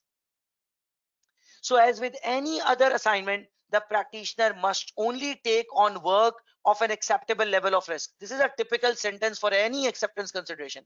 The acceptance matters given in chapter 6 which we discussed earlier as well triple p triple r immf all that are relevant over here as well. But there are certain additional matters. Additional matter number one why the company is not using their existing firm of accountants. If they are using existing firm of accountants this point is not applicable. But why they are not using it? Whether the target company's employees know about the acquisition. This is also important because if don't if they know about the acquisition they might be reluctant to you know share the relevant information with you. They might you know hesitate. They might have their reservations. Whether the acquisition is a hostile takeover maybe they are not interested in this acquisition. Maybe this is a hostile takeover. In that case it might be difficult to obtain the information. What's the exact scope of due diligence? Why the acquirer is interested? What do they want out of it? So i want to know the scope of the due diligence. The reason for the acquisition the deadline. I need to know the deadline because if the deadline is too tight i might not accept this client. Any ethical threat? Yes there is a possibility that self review threat could be created because once the company has been acquired in accordance your in accordance to your due diligence that that particular assets that particular liabilities which you quantified would become subject to audit. So this due diligence could lead to self review threat and due diligence could also lead to self interest threat again because of the fee dependency issue. So last topic what procedures you are going to apply when you are going to perform a due diligence assignment? You will apply analytical review. You will compare the past financial information to assess the recent performance of the target company. You will review the forecast. So you will look into the future as well you will look into the existing contracts in order to uh, in order to understand the hr contracts any legal obligations you will review the terms and conditions with the related parties that could impact the current performance of the company or the future performance of the target company. You will inspect their asset register in order to verify whether they they've uh, in order to verify if there is any possibility of assets being overstated. You will review their accounting policies and make sure they are in line with the acquiring company. Make sure the models and the policies are in line. Review the board minutes in order to identify if there is any particular issue going on which could create you know which could be a barrier to acquisition which could create future liabilities. You need to review the correspondence between the major customers and major suppliers with the target company. That could create any you know legal issues in the future you need to review the correspondence between the target company and their tax authorities. That could that could reveal potential problems. You need to review the industry reports because that could identify potential risks as well.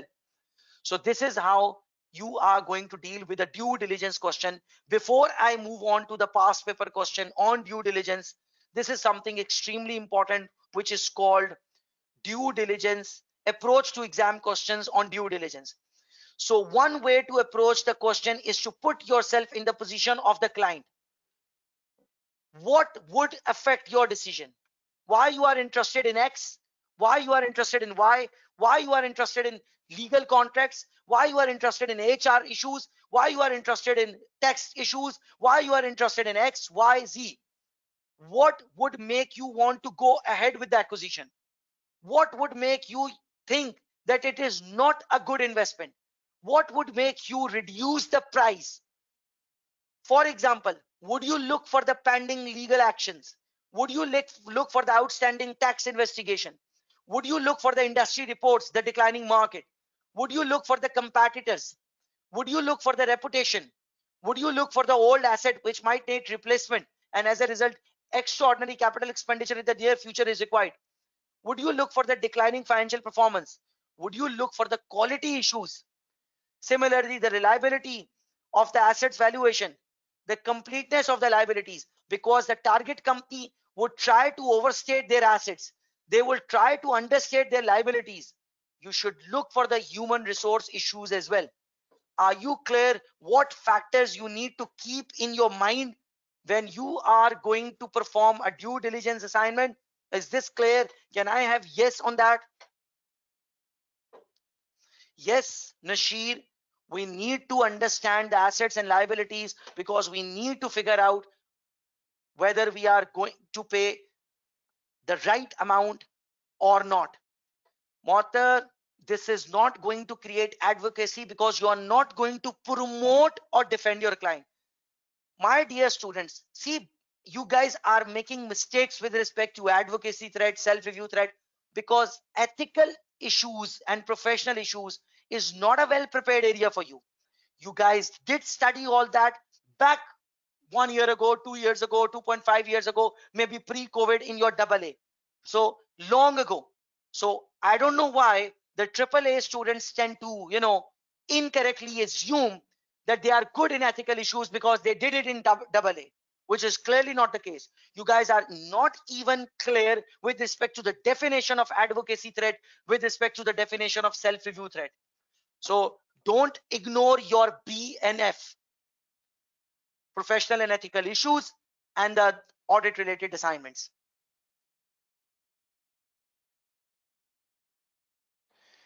Yes, with respect to due diligence assignment, the question will create no doubt that whether it is a assurance engagement or an agreed upon procedure. You won't have confusion on that. You won't have confusion on that. Don't worry about it okay considering the fact you guys are clear up to this point i think this is the perfect time to start what i think this is the perfect time to start a question on what due diligence and the question which i have extracted is from 2017 or 18 this question is available in your exam kit once we are done with this question we'll have a break again we are not going to finish off this question full in full because the part b is relevant to what Check out the part B.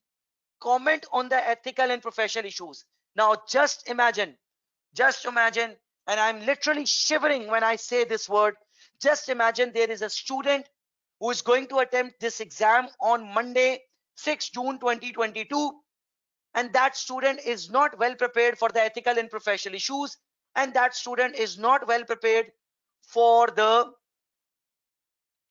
audit related services. What will happen? Okay. Is there anyone who could help me? What will happen? So this due diligence has got 7 plus 10 17 marks and there is a 8 mark part on ethical and professional issues and provide appropriate actions. What will happen then? Just imagine that student ignored bf that student ignored the two topics section b section f. Out of nowhere First of all, that student will be absolutely demoralized even at the start of their exam. Even if that student has got the potential to score 48 or 47 out of 75, trust me, that student will not be able to cross 40. Because when the student will realize that there are 25 marks available, which are not the strength of that student, that student will, will start shivering. So out of nowhere that student will talk to himself or herself okay fine let's ignore that 25 let's not attempt it at all which is again a poor poor strategy you should have you know given a fight. You should have remained optimistic. You should have tried to score at least 8 out of 25 which is one third. 8 threes are 24 so you should have tried for one third. You should have tried it. But that student will say or will talk to himself or herself okay let's ignore 25 marks. Let's not attempt it. And that student will only focus on 75 marks and that student will consider himself as shakespeare and that student will trust his writing or her writing skills and that student will imagine that he or she is going to make it out of 75 out of 500 students attempting 75 mark paper 470 480 will fail. 90 to 95 percent will fail. So please do not ignore your b and f. Do not ignore your best friend who's your best friend in aaa ethical and professional issues along with the actions along with the recommendations. And who's your you know second part of the best friend? The audit related services which is the syllabus area f. I hope this particular moment is going to be a real turning point of your exam preparation. And i hope that will help you on monday 6 june and that will help you on somewhere in the middle of Jan uh, middle of July when you will explore your exam results. So I hope that will help you. And then you will text me up and I'll reply you. Okay, so let's ignore part B because I know you can attempt this part B at home. You will attempt it. That's your homework for tonight. Let's focus on part A. There are two sub requirements in part A explain why each matter requires further investigation as part of the due diligence review. So there are two matters. Matter number one, matter number two. You have to explain why you believe that these matters require further investigation. Again, you'll have a brief introduction from the question. You will discuss their materiality. You might want to have discussion on the relevant accounting standard and you will now the bookish knowledge will be applicable. Those items will be important for the acquirer because that could you know lead to a situation where the target company might not wish to go ahead with the acquisition. The target company might want to reduce the price they are willing to pay. The target company might want to realize that this is a potential future cost. So they need to be you know they need to open up their eyes so you need to realize that these factors are important. The why each matter require further investigation? Because it could lead to it could lead to factors such as this one. They could affect the decision of the acquirer. They they could lead to a situation where the target company might not want to go ahead the acquirer company or the target target company might want to realize there are certain you know outstanding maybe tax issue maybe declining. so this is what you have to relate those items with this. Part 2 recommend the investigation procedures to be performed. For 10 marks you need to come up with 10 procedures and your procedures will be ideally speaking you could split those procedures into five and five. Why why i'm saying five and five? Because there are two issues. So your five procedures could be on this issue five procedures could be on this that issue. Is this clear? Are you happy with the exam requirements as of now? Sir when answering the questions do we have to put introductory paragraph for each question do not put an introductory paragraph but give a brief introduction. Give a very brief introduction because normally there are no marks for that. But normally an introductory paragraph would lead you to a nice build up to your answer. You can always rely on copy paste technique for the sake of introducing what's going on. You can even extract something from the question itself sir why each matter is it asking for advantages? Nashir, I didn't get your question. Why each matter is it asking for it? No it's not they're not asking for advantages. They are asking why it is so crucial why it is so crucial. So you need to relate it because it is going to affect the acquisition decision not exactly an advantage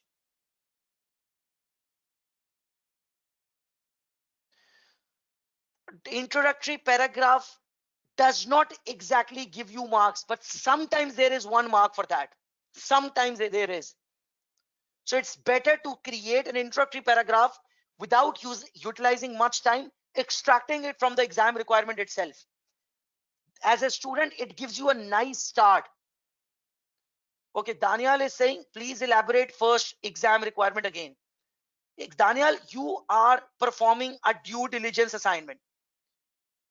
Your audit firm is called Leopard and Company. Daniel, I'm ask, I'm answering your question. Listen, listen, listen to this. You are a manager in an audit firm called Leopard and Company, and you are currently assigned to a due diligence assignment. You are currently assigned to a due diligence assignment to one of your firm's audit client. Your audit client is called Cheetah Company. Now just understand, your audit client is called Cheetah Company. Your audit firm is called Leopard Company. Ignore Leopard Company as of now. It, there is no usage of Leopard Company anymore. So your audit client is called Cheetah Company. That Cheetah Company manufactures bespoke furnitures. That Cheetah Company wants to purchase another company called Zebra Company. That Zebra Company is, I think, expert. The engagement is to conduct a financial and operational due diligence review of Zebra Company, a company which has been identified as a potential acquisition target by Cheetah Company. So your audit client, Cheetah Company, wants to purchase what? They want to purchase Zebra Company. Why they want to purchase Zebra Company? they want to purchase zebra company because they believe that this will create synergies okay okay maybe zebra company is also involved in furniture in manufacturing furniture or something. Now as part of the due diligence review you have been asked to provide a valuation of zebra company's assets and liabilities and analysis of the company's operating profit forecast. So you are performing a due diligence review and you need to understand the assets of the zebra. You need to understand the liabilities of zebra and you need to understand the future of the zebra the profit forecast of the zebra this will help the audit client of your audit firm the audit client is called cheetah company in determining the appropriate purchase price so this is what the background is so there is an audit firm called leopard company there are two different departments. One department is involved in auditing. The other department has been assigned the task of due diligence. They are going to perform due diligence for the sake of Cheetah and the target company is called Zebra. They want to understand the assets. They want to understand the liabilities and they want to understand uh, what price they need to pay and they need to understand the future profit. Now, during the engagement, during the field work, now, Daniel, your answer. Once they were performing the due diligence, they identified two specific issues, two very sensitive issues. And those issues require further considerations. Now, what are those two issues? Once we, we, will, we will read those issues, the examiner is asking why those matters require further investigations considering you are performing due diligence. So I will explain to the examiner that these issues will require further investigation because A, they are material. B, this is the underlying standard. C, this will have an impact on the future profitability. This could lead to future costs. This could have future implications with respect to the reputation. This could create problems in the future synergies. So this is how I'm going to build up my answer. So the examiners is asking why those two issues are so important when you are performing due diligence. Are you clear and happy, Daniel, now? Oh, Daniel has already answered my question. Quite much clear and thank you very much. Most welcome, Daniel. Yeah, Nashir, why not? Materiality is the best friend forever. Yes, Fazila, it, anything which could affect the reputation, why not?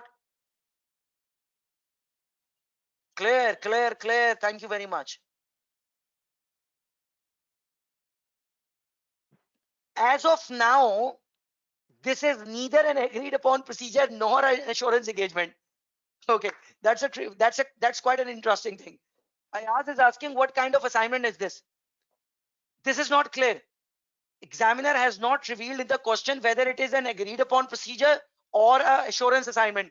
You are not supposed to look for this ignore it examiner is asking to focus on two things Ignore it whether it is an assurance assignment. Ignore it whether it is an agreed upon procedure. Just focus on two things out of so many things and just apply procedure on two things. So out of this huge assignment called due diligence, examiner is focusing on two things. Examiner has narrowed down the thing. How does that sound? Ayaz, is this clear? We don't have to worry about it, whether it is an assurance assignment or not. Can we continue? Yes. Okay. Thank you very much. So now let's read the issues. While reviewing correspondence with customers in relation to outstanding receivables. What customers? You are reviewing the cost correspondence with customers. Whose customers? The customers of the zebra, the target company's customers. Okay, try to understand. You work in Leopard company, forget Leopard company. Your audit client is Cheetah and Cheetah company has requested you to perform due diligence on Zebra. So let's focus on Zebra while reviewing correspondence with customers in relation to outstanding receivables, one of the team found a letter from a large retailer, definitely a large receivable balance, for which Zebra company produces number of unique products, providing advance notice that they are not going to renew their purchase agreement when the current one will expire. Okay, hold on. Please read this statement all over again and tell me is this going to have impact on the future profitability? Is this going to have impact on the future sales? Is this going to have impact on the price which the cheetah company might be paying for the zebra? Is this what do you think could this lead to you know implications on what amount cheetah company would be willing to pay can this help in negotiating a better price?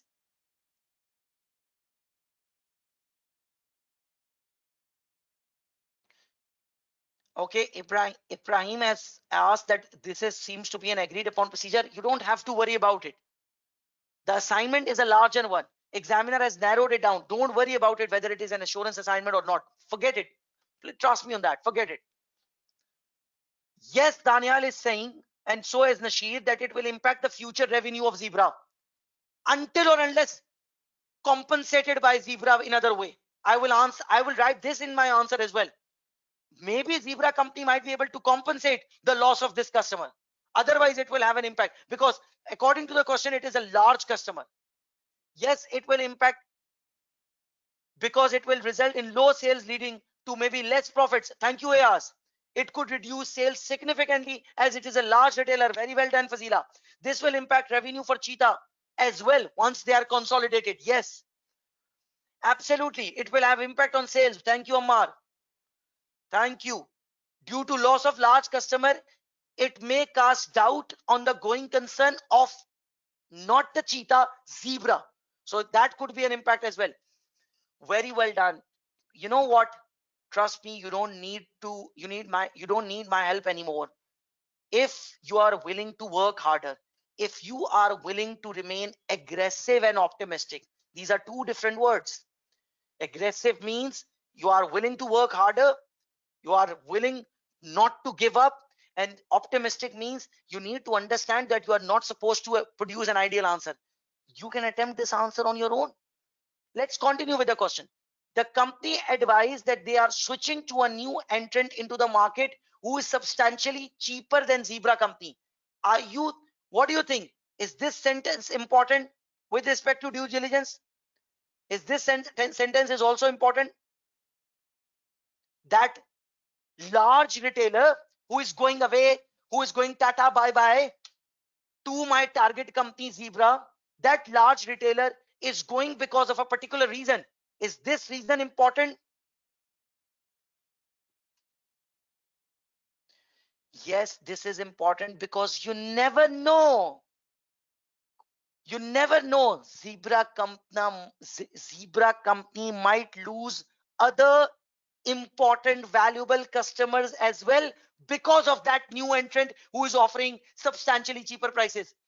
So this particular point could lead to a situation where cheetah company might not want to purchase zebra company or they might want to reduce the amount they are offering to pay. So this is important. Now you know you know the answer. That's why i started with the topic. Once you are strong at the topic the past paper questions are not a mission impossible. Let's continue with the question. A brief analysis has identified that customers on an average almost provide that customer which is which is almost gone. That customer which has said tata bye bye they contribute to the 5% of the zebra's revenue. Is this material for zebra? For the financial statement of zebra is this material? And are you going to have this point are you going to discuss this in your answer? Absolutely yes. So i think you have already covered the part a. I think i don't think so you need to read the solution. I think you can write your own answer then you can copy that answer. If it matches 50 60 70 percent match you should feel confident and optimistic about it. You should not feel depressed. Then what you are going to do? Don't give up. Don't move to the next question. Extract an ideal answer from the past paper and then learn it. This is the right way to prepare AAA. What's the most pathetic way to prepare AAA? Read the question, read the solution, tata bye bye. That's the most pathetic way.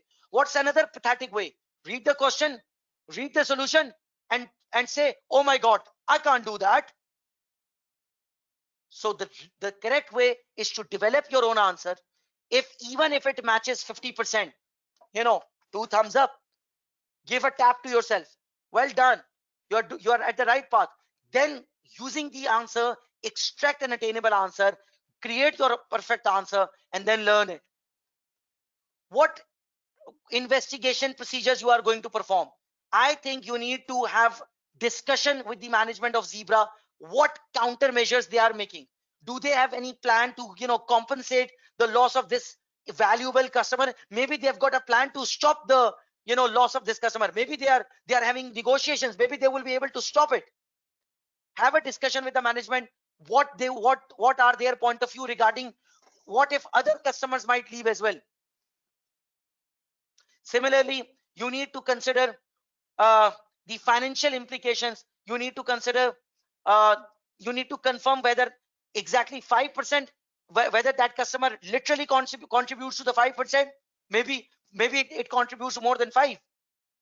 So there are certain procedures which you can perform such as such as you need to inquire the management that what implications it will have whether they have any plan b.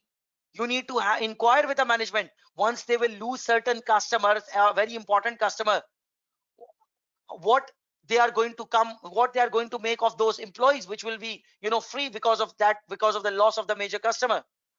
You need to you know obtain any correspondence with major customer maybe other customers are having the same issues or same concerns as well. You need to inquire the management manager whether they have any particular inventory specifically made for that particular important customer because they make bespoke inventory. What if there are certain bespoke inventory in the warehouse and that will be they need to be recognized. So extra liabilities will be charged extra expense will be charged. They, may, they, may, they might be impaired you need to inspect the forecast prepared by the management. Make sure they have not incorporated that particular important customer in their future forecast because that customer is going. Is this clear?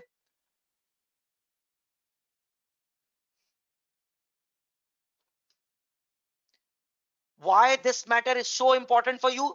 Because it will have impact on the forecasted sales and profitability. It will have impact on the future competition as well because other customers might switch as well.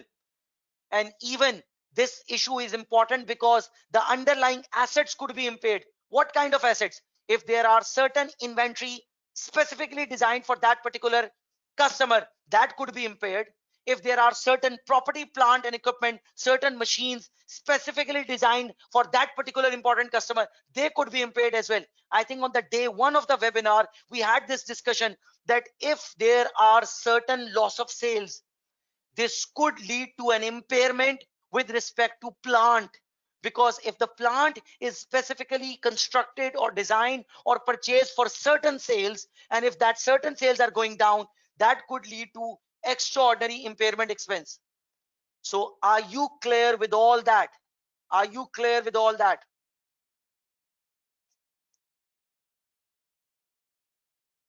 Let's quickly explore the marking scheme.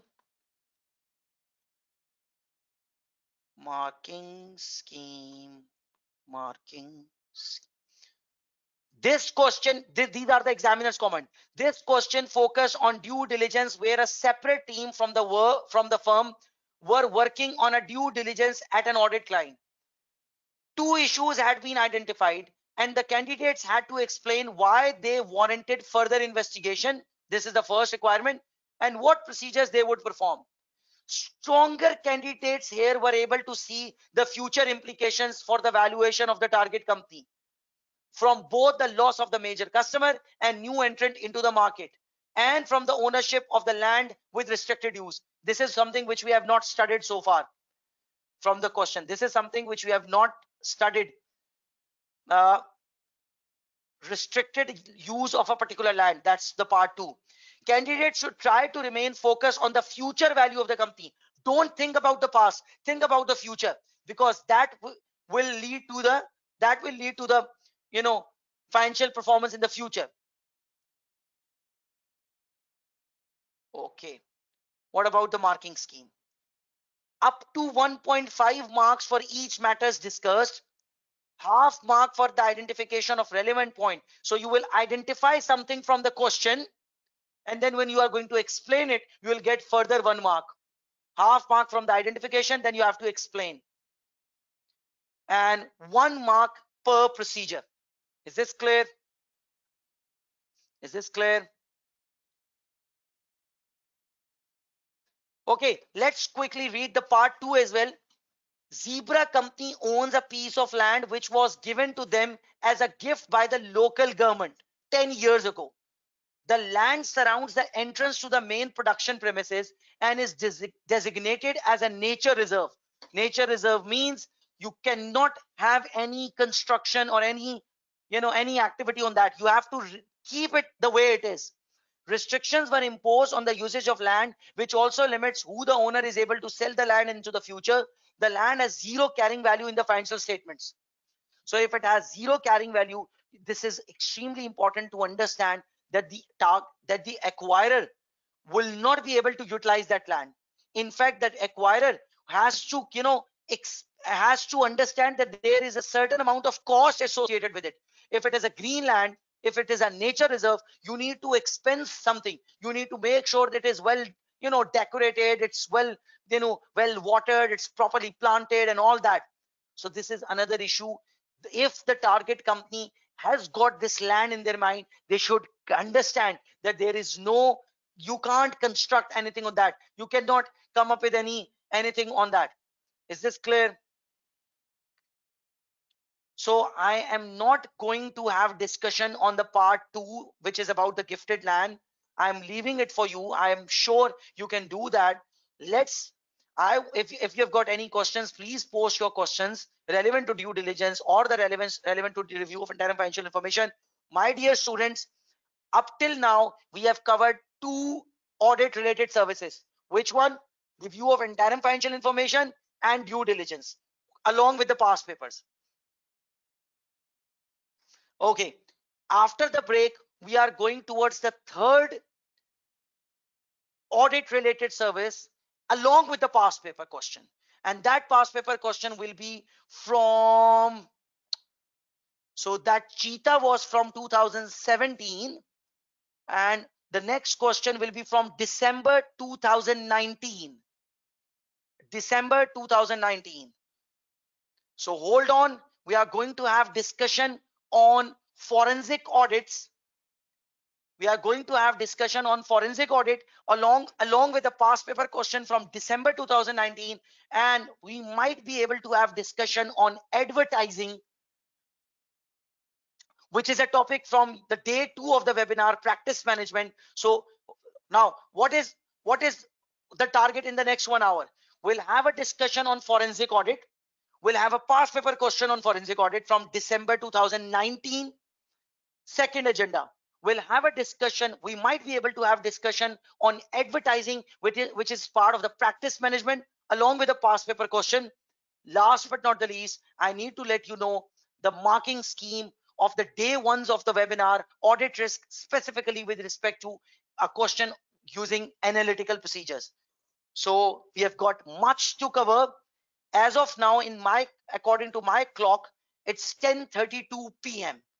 Let's just have a break for eight minutes. Let's come back at 10:40. Is this clear? Are we are we coming back at 10:40? I'm not going to have discussion on prospective financial information, Anas, because prospective financial information was part of the very last attempt. It's, it is not possible to cover all six uh, assignments, but I've got much to cover in the next one hour. Forensic audit, advertising, analytical procedures. So hold on, don't go anywhere. Stay tuned. I will be answering your questions. I'll I'll be, you know, having a quick word at the end of the session to, you know, make you uh, motivated. Uh, Nashir, I can't say that prospective financial information will be examined in June or not, but most likely no. But but don't don't think like that. You should attempt at least one question on PFI as well. Okay, I'll see you after seven eight minutes. Please hang on. See you.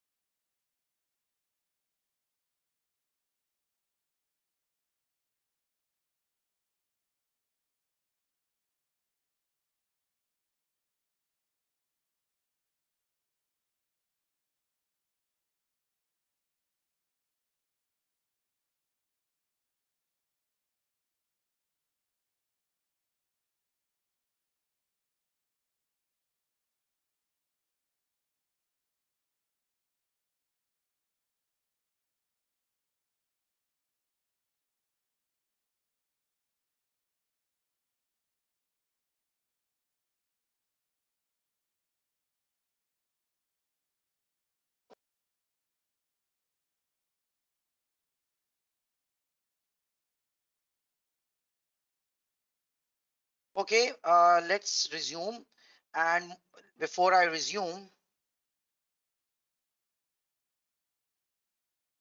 uh Siddiqui, you have handout on PFI we can study from. My strong advice to all of you is that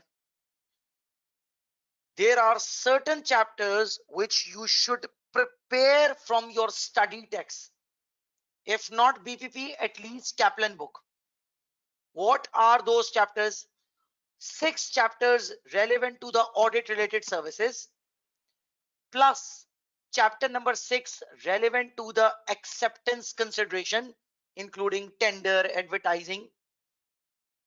And maybe something relevant to the money laundering as well. But again money laundering was tested in the recent past in the march 2022 attempt. You might take a risk to skip that otherwise at least chapter number six acceptance consideration that tendering advertising all that and all those acceptance uh, all those uh, audit related services including the one you are referring to pfi is this clear? Okay. Let's start another small topic which we can you know cover within 10 minutes and it's not an audit related service. I'm, I'm just trying to make a change. And this topic is called advertising. Now my dear students advertising is part of the practice management. So quality control and practice management. So it's part of the chapter number six, which I'm which I, I, I was just referring to. So you need to prepare chapter number six from your study text. In the chapter number six, you will realize what triple P, triple R, IMMF is. In the chapter number six, you will realize what's the process of tendering, how audit firms are eh, how audit firms are going to advertise themselves. So this topic is, is from advertising, which has got nothing to do with your double A. It's a pure triple A topic. Let's let's check out the exam requirement. We just have to discuss this seven marks. Comment on the suitability of the advertisement. So you have to comment on the suitability of the advertisement, whether the advertisement is suitable or not, right or wrong, appropriate or inappropriate. Discussing any ethical and professional issues raised. So once you will read the advertisement, you will realize that there are certain things which are below the par they are below the belt they are not appropriate they are not ethical with respect to an audit firm. They are not professional enough. The wording is not professional enough. Now you are a manager in an audit firm called Raphael and Company okay? And it's a firm of accountants which has 12 offices. So seems to be a medium sized firm with 12 offices okay? Then what? And there are 30 partners in total okay fine and out of 30 partners 10 partners are the members of acca so out of 30 10 members are the partners of acca so if you know this thing very well done to you. But if you don't know this learn it right now right here that if less than 50% of the partners are chartered accountant the audit firm cannot name themselves cannot advertise themselves as chartered certified accountants they can't call themselves like that so considering the 10 members are the members of acca out of 30 this audit firm cannot recognize cannot advertise cannot claim themselves as Raphael and company chartered certified accountants. No, why not? Because they have got, they do not have good enough chartered accountants within their, you know, at their partner level. Is this clear? Are you clear with the first point? And I think this is the first mistake. I think this is the first mistake in their advertisement because this is what an advertisement. What what what's that in the box? This is an advert. So this is a mistake. Okay, an advertisement has been drafted as part of the firm's drive to increase the number of clients. So they want to increase the number of clients, no problem with that. It is suggested that it should be placed in a number of quality national as well as local newspaper. No problem with that. They can advertise it in national and local newspaper. They are a medium sized firm. They will have the coverage of at the national level. Okay fine. Let's let's start the advertisement. Up till now there is no mistake. Yes i have found a mistake but at the end which is chartered certified accountant because i know they don't have the good enough numbers of chartered accountants they can't call themselves as chartered certified accountants let's start the advertisement. Have you had enough of your accountant charging you too much for poor quality services? Is there any mistake or is there any mistakes in this first sentence? Can you please help me? Anyone who could help me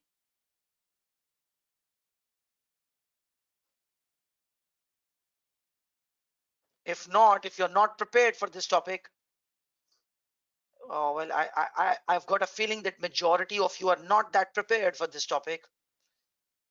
Okay okay okay. Have you had enough of your accountant charging you too much? So you can't criticize other accountants for overcharging or for overpricing. You have to focus on your price. You can't have a discussion on the prices of others. So that's the first mistake. The charging you too much. This is the first mistake in your advertisement. That's not being professional. You should not and you cannot you should not and you cannot criticize the fee charged by your competitors by your you know within by your other other professional accountants. So that's the first mistake. And the second mistake is you cannot criticize them for poor quality. You should fo focus on your quality. You cannot blame others. This is not an advertisement for a shampoo or this is not an advertisement for a soap. You can't you can't be so unprofessional. So that's the second mistake. Let's continue with the advertisement. Does your business need a kickstart? Is there any mistake over here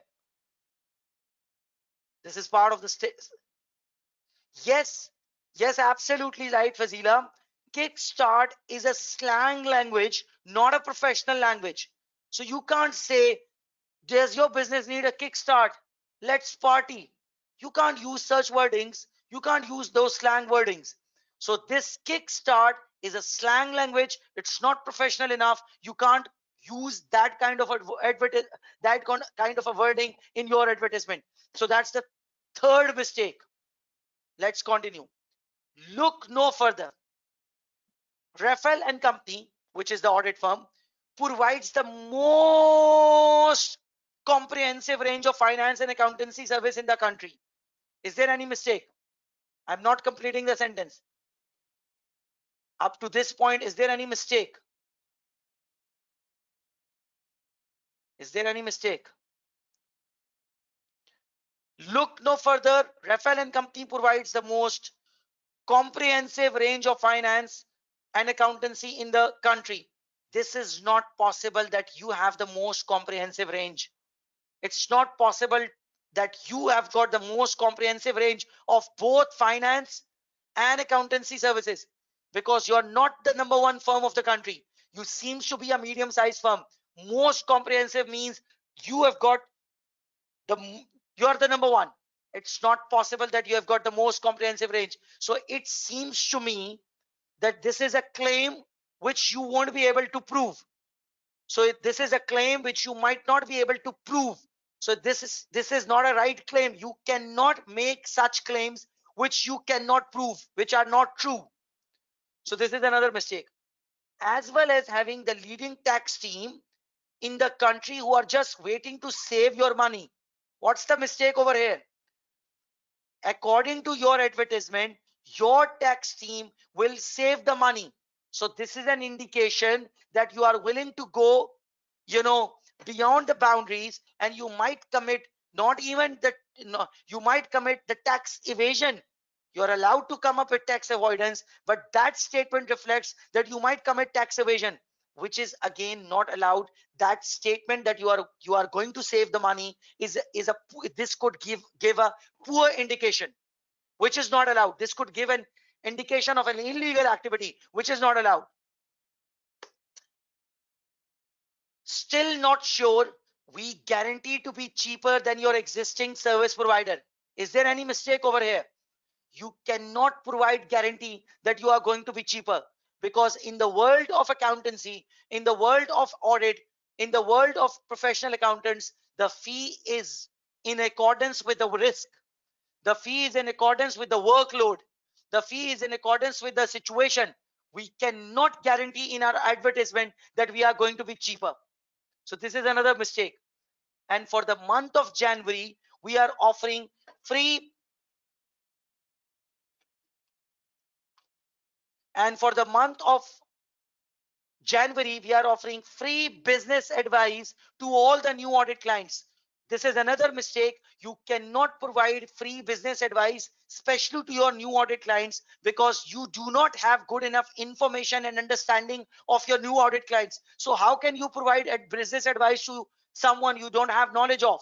And more importantly, if you're going to provide business advice, this could lead to management threat and this could also lead to self-review threat. Or this could also lead to other ethical issues. So drop in and see us at, at our local office for a free consultation. This drop in and see us at our local and at your local office this is again not a professional statement. You should have referred to so okay, this is our contact number. You need to send your inquiries to this email or this phone number. What's that drop in? This is something which two friends are going to use drop into my place. This is not professional enough. So there are many mistakes in the advertisement. Advertisement is a topic from the practice management. Practice management is something which we try to uh, which we try to explore on the day two of the webinar. Is there any confusion? Are you all clear? Are you clear low balling is allowed but we can't say that we guarantee to be cheaper. Is this clear to Umar and Ibrahim?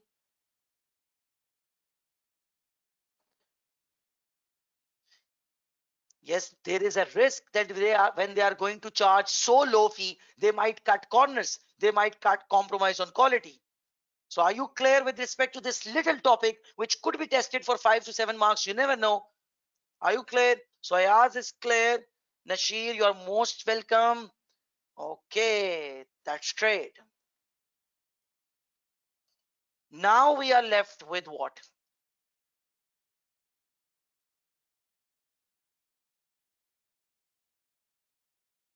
Okay, now we are left with another audit related service which I selected for the today's session and the name of that and the name of that topic is called forensic audits.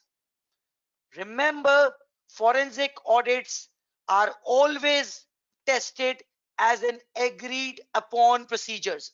It's never an assurance assignment. Okay, what is forensic auditing? Forensic audit refers to the specific procedures Umar, Ayaz or Manoj is going to apply. Why they are going to apply? Because they are going to come up with forensic investigation. Why forensic investigation? Because you want to gather certain evidence. You are going to apply your traditional financial auditing techniques. You will apply analytical procedures. You will apply, you will apply, inquire from the management. You will inspect the documents. You will recalculate certain things. So you will apply all those traditional auditing techniques. Why you are going to apply? Forensic audit techniques, why you are going to apply traditional audit techniques. Maybe you want to quantify a fraud.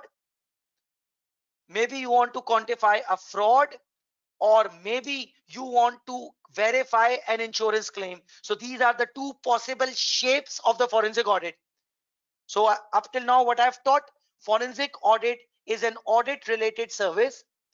It is always going to be an agreed upon procedure. It is never going to be a assurance engagement agreed upon procedures are of two uh, there are two possible shapes of agreed upon procedures one forensic audit number two due diligence so if you are going to cover forensic audit your your agreed upon procedures are all finished some of the major applications on forensic auditing are shown below. So it could be a fraud investigation, such as there is a theft within the company, maybe some kind of insider dealing within a company. So you need to investigate the fraud. Maybe you need to verify an insurance claim. Maybe the company wants to claim something from their insurance provider, but they want you to verify that insurance claim so that they don't have to, you know, they don't want that insurance claim to be get to get rejected. Similarly, they want they, you need maybe you need to come up with uh, in, uh, they maybe you need to perform a forensic auditing in order to verify some professional negligence from someone loss suffered as a result of placing reliance on a professional advisor. So you need to investigate whether that individual was guilty or not. Okay there are certain practical ex examples. Okay as we as we have uh, observed whenever we start any audit related service the pattern is same. Definition the background and then what? Acceptance consideration. And it is very very very very important. Extremely important so let's read let's concentrate for the next five minutes as with any assignment whether it is audit whether it is review of interim financial information whether it is due diligence or whether it is forensic audit the practitioner must only take on work of an acceptable level of risk that's a typical sentence you can use in your answer. The acceptance matters given in the chapter number six, which you are going to prepare tomorrow is very important. Most importantly for forensic audits, the practitioner, practitioner must ensure that they comply with fundamental ethical principles. When you are performing forensic audit, you should take great care of your fundamental ethical principles. Why I'm saying that? because once you are involved in the forensic audit most likely that you are going to be involved with criminals you will be involved or you will be in a situation where a crime has happened. So you will be in the in in the in the environment of criminals. So maybe you are you are involved in a situation where there is a crime minister. So you need to you know you need to be very skeptic. So you need to take great care of your fundamental ethical principles. Because when you are involved in a forensic audit, there is a huge possibility that somebody will offer you bribe. Somebody will come up with intimidation threat. So the situation is going to be very complex and very sensitive. So you have to be very alert with respect to and very sensitive with respect to your fundamental ethical principles.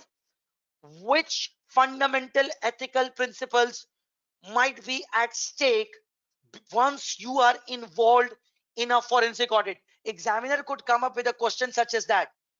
Which fundamental principles you need to take care of or what factors with respect to fundamental ethical principles you need to evaluate once you are involved in a forensic audit. Number one, if I am involved in the forensic audit, I need to make sure I'm competent enough to do to do the job. So which fund fundamental principle? Remember my day two ICOP square. It's about professional competence and due care. So I need to make sure I'm competent enough. It is not a typical audit. So I need to make sure I've got the, you know, expertise on forensic audit and I need to work with due care. I need to make sure I take great care of the evidence, the custody of evidence. You might have seen in the movies, such as in Bollywood movies, the evidence is so critical the the criminals or the villains they try to get they try to they try to steal the evidence right so you need special kind of competence and due care. You need very strong personal skills in order to exercise a profession uh, in order to exercise forensic audit. Uh, an ordinary person cannot be a forensic auditor. You need to have very strong communication skills. So this is the first fundamental principle you need to take great, great care of.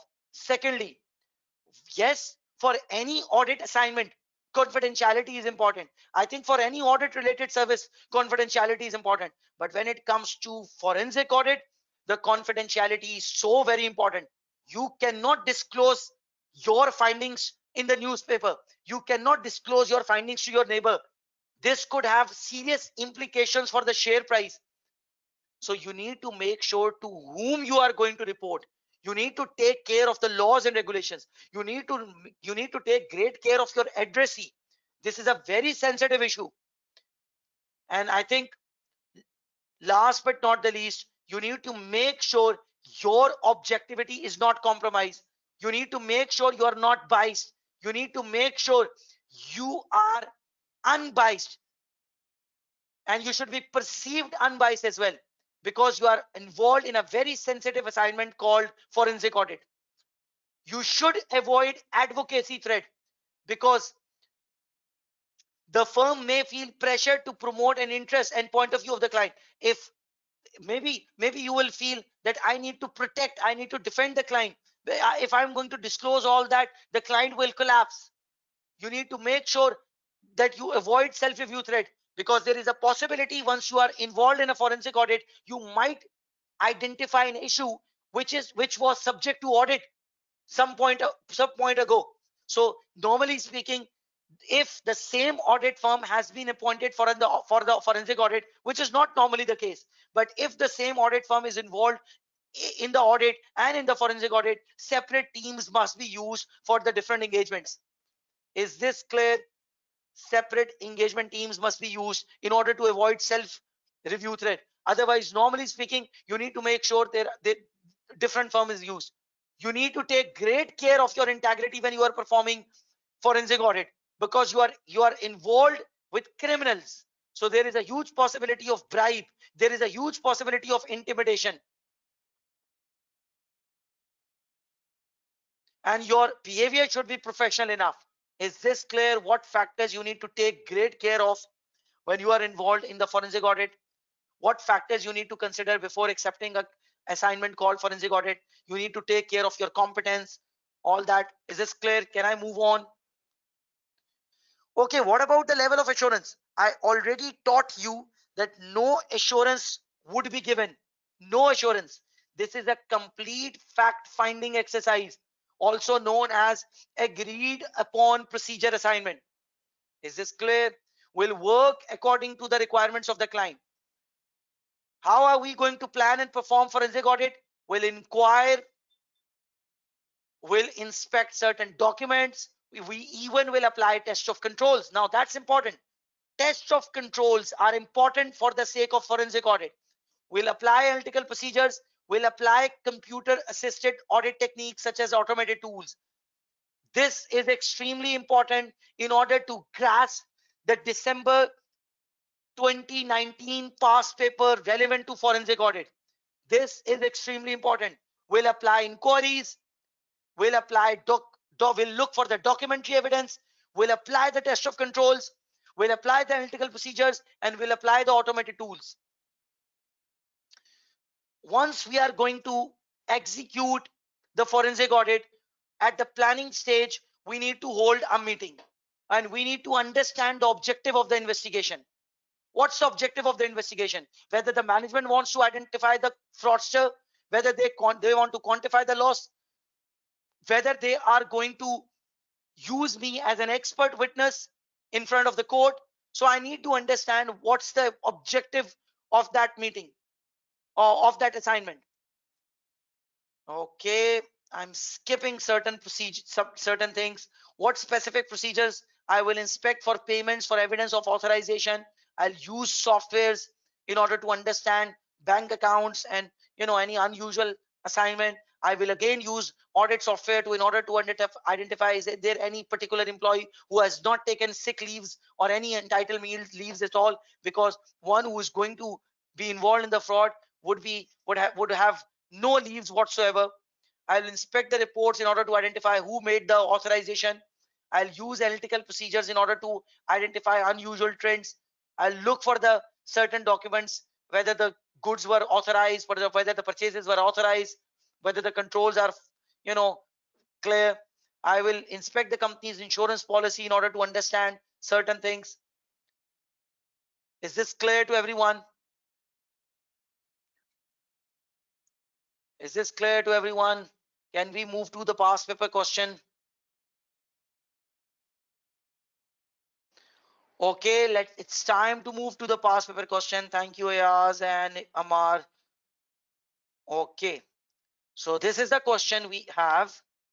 it is from December 2019. So those eight past papers which you are going to prepare, this is one of them. Part A, evaluate the matters which should be considered before the firm accepts the invitation to perform a forensic investigation for BEYER company, beer company. So this is a question also available in your exam kit. This is the name of that question. This is a question available in your exam kit. This is a question from those eight past papers. Are you are you comfortable with the exam requirement considering what you have studied from the study text? Evaluate the matters which should be considered before your firms accepts invitation. So this is acceptance consideration. All those things, triple P, triple R, IWMF is relevant. But along with that, what else is relevant? What else is relevant?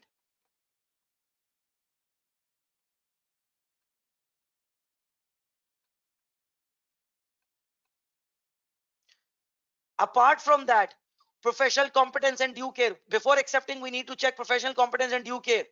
Before acceptance, we need to make sure whether we'll be able to maintain the confidentiality. We need to make sure whether we'll be, we'll be able to remain objective whether we'll be able to manage self-review and advocacy threat. We need to evaluate our integrity, professional behavior, all those factors. Now, I'm not saying every everything will be applicable. It depends upon the question. Is this clear? Yes, we need to evaluate whether we have got the skills and the resources and the availability of the resources at the time, whether we'll be able to meet the deadlines, whether the fee is good enough, whether we'll be able to comp whether the fee will be able to compensate the risk, whether the overall risk is acceptable, whether the client is going to use it, use us for the sake of quantification of loss, or whether we'll be used as an expert witness. What's the objective of the assignment? So all that bookish knowledge will be applicable. Thank you, Zishan. You are a manager in the forensic department of your firm. Now, considering the firm has got a special forensic department, I don't think so that competence is an issue. I will, I will, I will say, considering we have got a pure whole forensic department, we believe, or I believe that the one of the acceptance consideration, which is about the competence, is not going to be a problem, and will have the competence. But the availability of the resources at the right time could be a challenging thing. So competence is different, and the availability of resources at the right time is different. So examiner will appreciate if you are going to if you are going to recognize that there is a forensic department, so competence won't, won't be a problem. You have received a request from a client called BEYER company about an inventory fraud. So they, they had an inventory fraud and now they want your services, which was brought to the attention of the company's audit committee by a whistleblower. So the audit committee was made aware of a fraud by a whistleblower. Whistleblower is someone who you know explodes and they reveal that this fraud is going on and they would like their identity to be you know remain in private they don't wish to their identity should be disclosed b company is not currently a client of your firm so considering this company is not your client so before acceptance one of the things which you need to consider was ethical issues and one of the ethical issue was a possibility of self review threat that threat is not applicable over here because this is not your existing audit line. So I hope you're getting the point. B company manufactures and sells parts used in the automotive industry to both car manufacturers and to the garages specializing in the repair and servicing of cars. The audit committee would like K, K and company to perform, which is your audit firm. This is your audit firm. To perform forensic investigation to quantify the loss suffered so they want you to perform forensic audit. Why they want to perform that? In order to quantify the loss suffered as a result of inventory fraud. And they also want you to recommend improvements in the company's internal controls. Okay, Re improvement in the internal controls. That's what we studied in, in the double A exam to avoid similar issues in the future. In addition, the audit committee has mentioned that although the quantification of the loss is to form the basis of the insurance claim. The matter has been reported to the police who will be investigating the matter further. So I need to understand whether I will be playing the role of a second fiddle, whether I'll be helping the police, whether I'll be used as an expert witness. And we also need to, you know, they also need our recommendation in order to avoid further, further issues. And with there it is, evaluate the deficiencies in the company's internal control system and explain how they could contribute to fraud together with recommendations to prevent such a fraud occurring. This is all from double A. Trust me, this is all from double A. So this is part A. This is not a challenging one. So we need to understand what client is expecting from us. I need to understand that whether it is uh, what client is looking forward to. They are they want to quantify the loss or they also want to make me uh, uh, Uh, or they're also interested in identifying the fraudsters. So I need to understand the nature of the assignment in advance. So that's the first acceptance consideration. Similarly, I need to investigate the what's the time period of this investigation because the time period of this investigation will have an impact on the fee. Similarly, I need to understand that what is the role of the relevant authorities such as police. For example, it is possible that the police might gather their own data and I might gather my own data or maybe the police would help me in finding or maybe the police will use me as an expert witness. So the police is involved and they and I am as a forensic auditor is involved. Once I'll gather my you know findings, the police will help me as a forensic as an expert witness. So I need to understand all that. It is therefore vital that before any terms are agreed or engagement contracts are signed, the audit firm need to speak to the authorities to confirm to ascertain whether there will be any criminal investigation, whether there will be any legal actions, police involvement, legal case. Confidentiality. Firms providing professional services must always ensure that the information relating to the client is not given to the third parties without the permission of the client. So I need to understand whether I I need to disclose any information to the insurance claim company or not whether i need to disclose any information to the police or not. So this is what i need to clear before uh, uh, to the before this is what i need to understand before this before accepting the client. The firm must confirm with the client what type of report they would expect as a result of engagement and whom the reports would be distributed to. I need to understand that whether they want uh, me to report it to the client only, to the audit committee, to the public. So I need to understand whether my report will be used for the insurance claim. So I need to understand all that. Last but not the least, considering you do have the department, competence might not be an issue, but you do, do need to consider the availability of resources.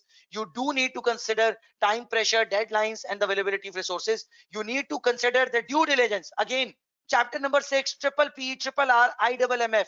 What's M? I double MF. What's M? There are two M's, management integrity. Number second M is money laundering. What's money laundering? Client due diligence. Before accepting this new client, because this is not your existing client, you need to evaluate the client due diligence. You need to know they are not criminals, they are not involved in terrorism or any other illegal activity. So all those any money anti-money laundering laws and regulations are applicable and you need to identify who they are so these are all factors which you need to consider before accepting this new client for the sake of forensic investigation. Up to two marks are available. There are eight marks. So if a student would come up for with two, two, four or five points, that student could get complete marks. Is this clear? Is this clear to everyone? Skills, resource, access of records, all that. Well done, Zishan. Okay. So you have, you have to extract your own answer. You have to build your own answer for this part. What's the topic? What are the acceptance consideration before you accept an appointment as a forensic auditor? What factors you need to consider before accepting a forensic auditing assignment? So read the question, read the factors which you need to consider from the book. Read the solution. Develop your own answer. Thank you very much. Okay the question is a bit lengthy one. What about part b? Recommend the procedures which should be performed in order to quantify the inventory loss. So you will read this part B and you will realize that certain inventory has been lost. So let me quickly, you know, give a feed, give a review of that question. You can do it this question at your home by yourself. Actually, the story is the sale manager and the warehouse manager, they were, you know, they were doing a fraud they used to generate a fake order with the name of a fake customer and the order used to be generated the good dispatch note used to be generated and the it, and the goods and those items who used to be you know removed from the company's premises and then a sale return entry or some kind of you know reversal used to be made. But that item used to be you know the company that warehouse manager used to sell those sell those items somewhere privately using internet. So they were using they were using some fictitious customer. They were selling those things on internet and they used to split the proceed with with the warehouse manager and the sale manager. So all that was going on. And the part two says evaluate the deficiencies in the company's internal control system. There are many deficiencies in the internal control system such as there is no segregation of duty there is no lack of segregation of duties. The authorization process is not segregated. Even the reversal when when the, there is a when there is a uh, you know cancellation of sale the same individual is there. So there is no segregation of duty. So there is no segregation of duty when the, with respect to warehouse. That same warehouse manager counts the inventory. So he knows he has he, he has made certain frauds. So this is how you are going to you know come up with a control deficiencies and you need to come up with recommendations. The recommendations would be there should be someone other than the accounts department who should perform the stock count. There should be someone senior who should make sure that all those you know uh, cancellation of sales should be reviewed by someone senior so this is how you are going to attempt this part this part too will not be difficult for all those students who remember the control system questions from the double A the control deficiencies and the recommendation part. This is absolutely similar. You will realize there are control deficiencies within the system. No authorization, no segregation of duty. So, you know, no documents, same individual is involved in multiple things. So this is not a difficult part. Yeah, this is a flash. You're absolutely right. This is a, okay, indeed, this is a flashback from double a Okay, guys, before I go to the Q&A section. And before I conclude today's session, something extremely important. In your exam, there are three questions. The first question is always for 50 marks, having four professional marks and 46 marks are available as of actual requirement. There are two questions available in your section B and one of the question in the section B will always be on completion, review and reporting. The question number three will be most likely a combination of ethical and professional issues along with an audit related assignment. The question number one will always be at the planning stage. Within the question number one, there could be a flavor of ethical issues. Within the question number one, there could be five to six marks available for procedures, such as substantive procedures. But the greater majority of the marks for the question number one will always be about the planning and the acceptance consideration for an existing client, for a new client. All those acceptance considerations discussed in the chapter number six, triple P, triple R, I, double M, F are relevant to the question number one as well. Now that question number one, which is about the risk, especially the risk of material misstatement and also the business risk which is faced by the business, which leads to the risk of material misstatement, which eventually leads to the audit risk. That question number one could be tested by the examiner in two ways. Option number one, examiner is going to utilize very limited financial data and the examiner is going to utilize loads and loads of background information discussion of the finance director with the engagement partner you know loads and loads of the company's background their ongoing operations and as a result of that loads and loads of information using paragraphs sentences words you will identify and explain business risk you will identify and explain risk of material misstatements. What's the marking scheme? The marking scheme of the business risk is you will get two marks for a well explained business risk what's the marking scheme for the risk of material misstatement? You will get two marks for a normal risk of material misstatement. You where you will identify an issue where you will identify an issue which financial statement items are at risk understatement or overstatement. You will briefly explain the relevant accounting rule or standard and you will express your professional skepticism why you think that the client's accounting treatment is wrong or could be wrong. You will get two marks out of it if you are going to utilize materiality if there is a potential to utilize materiality and have a discussion on materiality you might be able to get three marks. But remember you won't get marks for the materiality on more than four occasions. So the in the question number one you need to calculate materiality for maximum four occasions. You might not be able to calculate even for four. Maybe the client the examiner will only provide data for three or two things so keep that thing in mind so the the marking scheme for materiality is either the two marks or the three marks depending upon materiality now the question number one which is relevant to audit risk can be tested in one other way. If you remember from your AA, there was an auditing standard called ISA 520, which is about analytical procedures. Analytical procedures are comparisons. They are applied in order to understand unusual fluctuations, potential material misstatements, significant relationships between the data. Now, those analytical procedures are applied at three different stages of the audit. Number one stage at the planning stage, which is relevant to your question number one of AAA.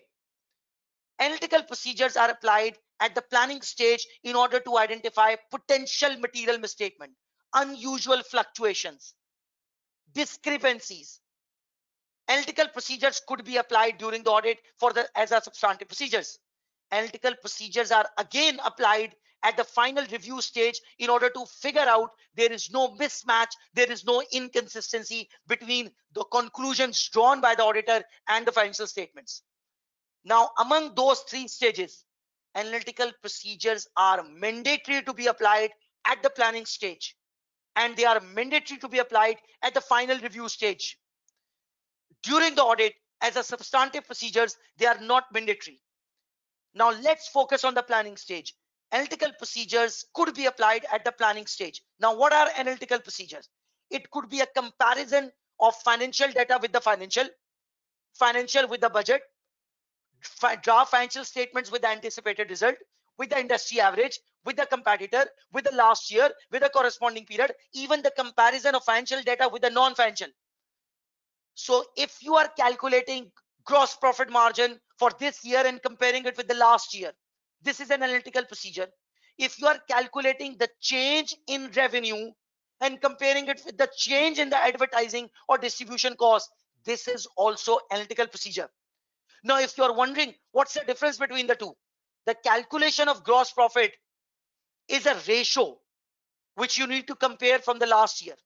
Whereas when you calculated the change in incre increase in sales or decrease in cost of sales or decrease in advertising cost, that's not a ratio that's the trend so and so the examiner on monday 6 june could come up with a question such as redback sports company which we did on the day one of the webinar in which we were not supposed to apply analytical procedures.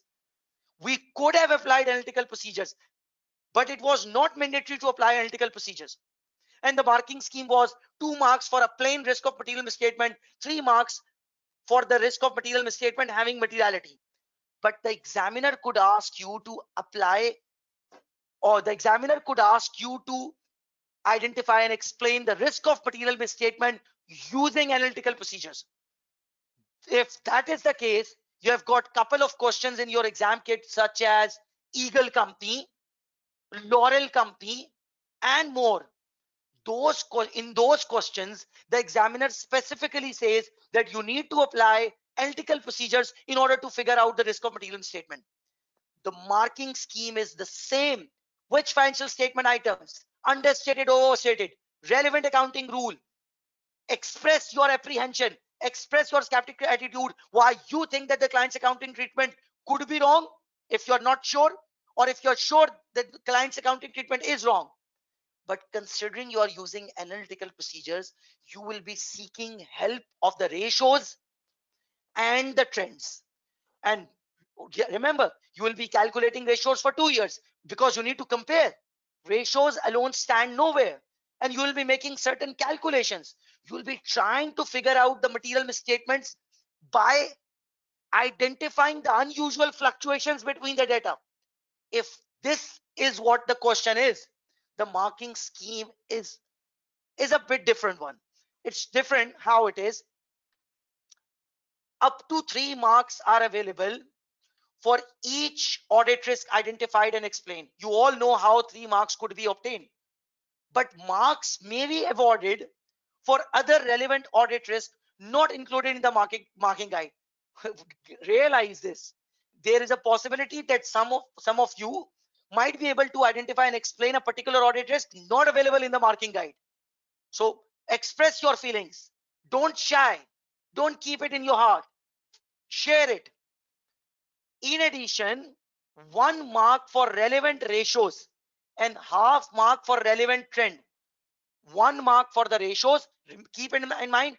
You have to come up with two ratios because you need to compare. So overall one mark. Overall one mark.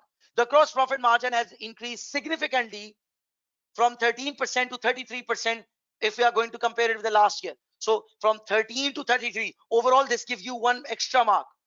And half mark is the is for the calculation of relevant trends. And those ratios and trends would part would become part of the analytical review.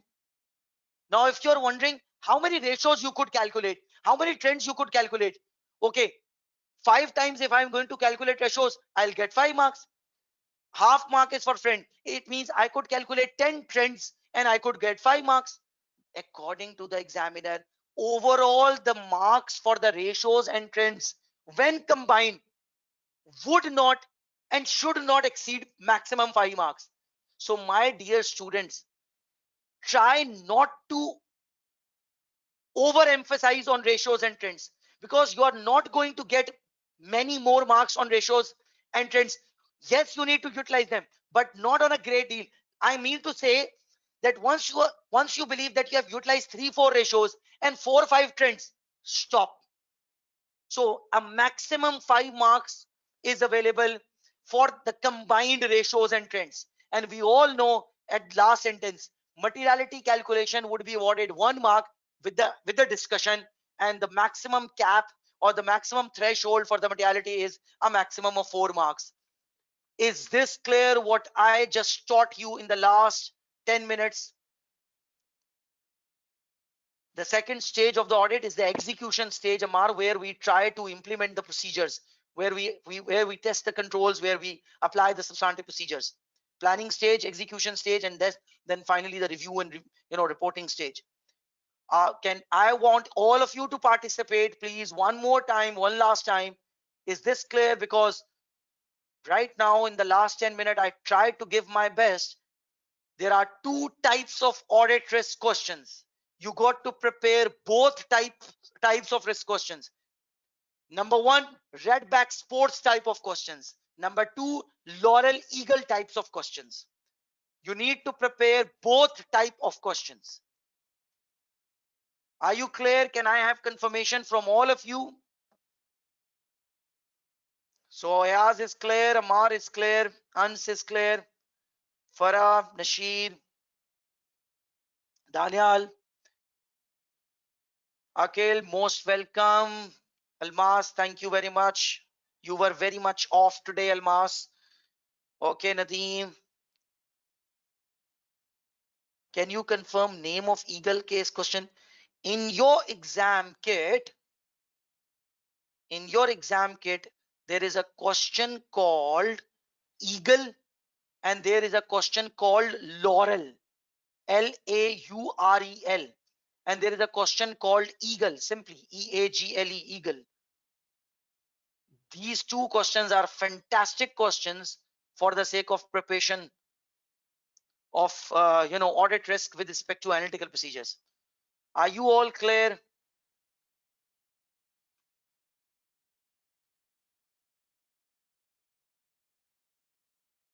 so if you got if you have got any other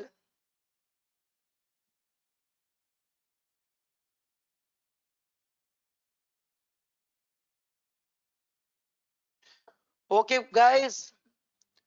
Uh manoj no problem. The recording will be available. All of you can all of you can uh who, those who have missed quick a quick word if you if there is anyone if there is anyone out there if there is anyone who has missed today's session this is my personal and only number. You can reach me out via whatsapp and i will add you in the whatsapp group no problem. I will provide all the resources. Otherwise the resources are already available in the description of the whatsapp group. Thank you very much guys. You were really you know you were really a good sport. You participated pretty well. I tried my best. I really hope so that i my contribution within the last four days will end up you know will lead to success and you will enjoy the success not only on monday 6 june but also in the mid of july on the result day. I wish you all the best for your future. I wish you all the best for your you know acca and all that. Uh, stay aggressive stay optimistic. That's what the life uh, that's what you should spend your life. Oh, you you don't have to be over ambitious with things. You have to be optimistic and you need to work harder and you have to trust the process and you have to you know stay you know keep on going keep on going. So the as you all know there is a plan post webinar. You got to prepare all those questions which we discussed during the webinar. Once you are done with these questions i think you need to move towards uh, the uh, those eight past paper questions. So thank you very much. Stay blessed work harder and take care of your family and friends. They are very important. I'll see you somewhere soon. And thank you very much. It was lovely to have you all. Your participation made me made things a lot easier for me. So thank you very much. Bye bye have a have a you know studious two weeks ahead best of luck bye bye Thank you very much.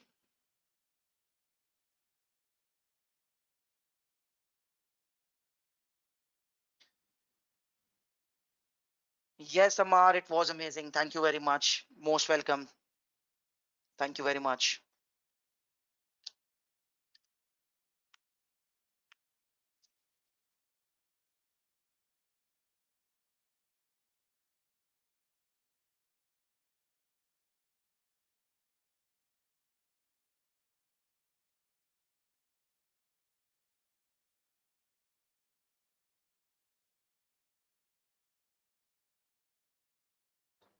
If only I know.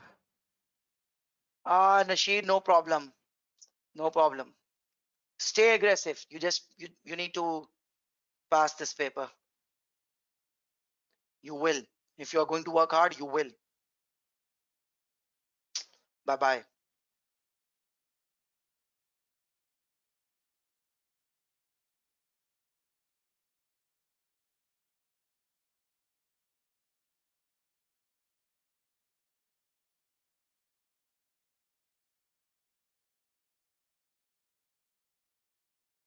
Nashir, maybe you will be able to refer someone else.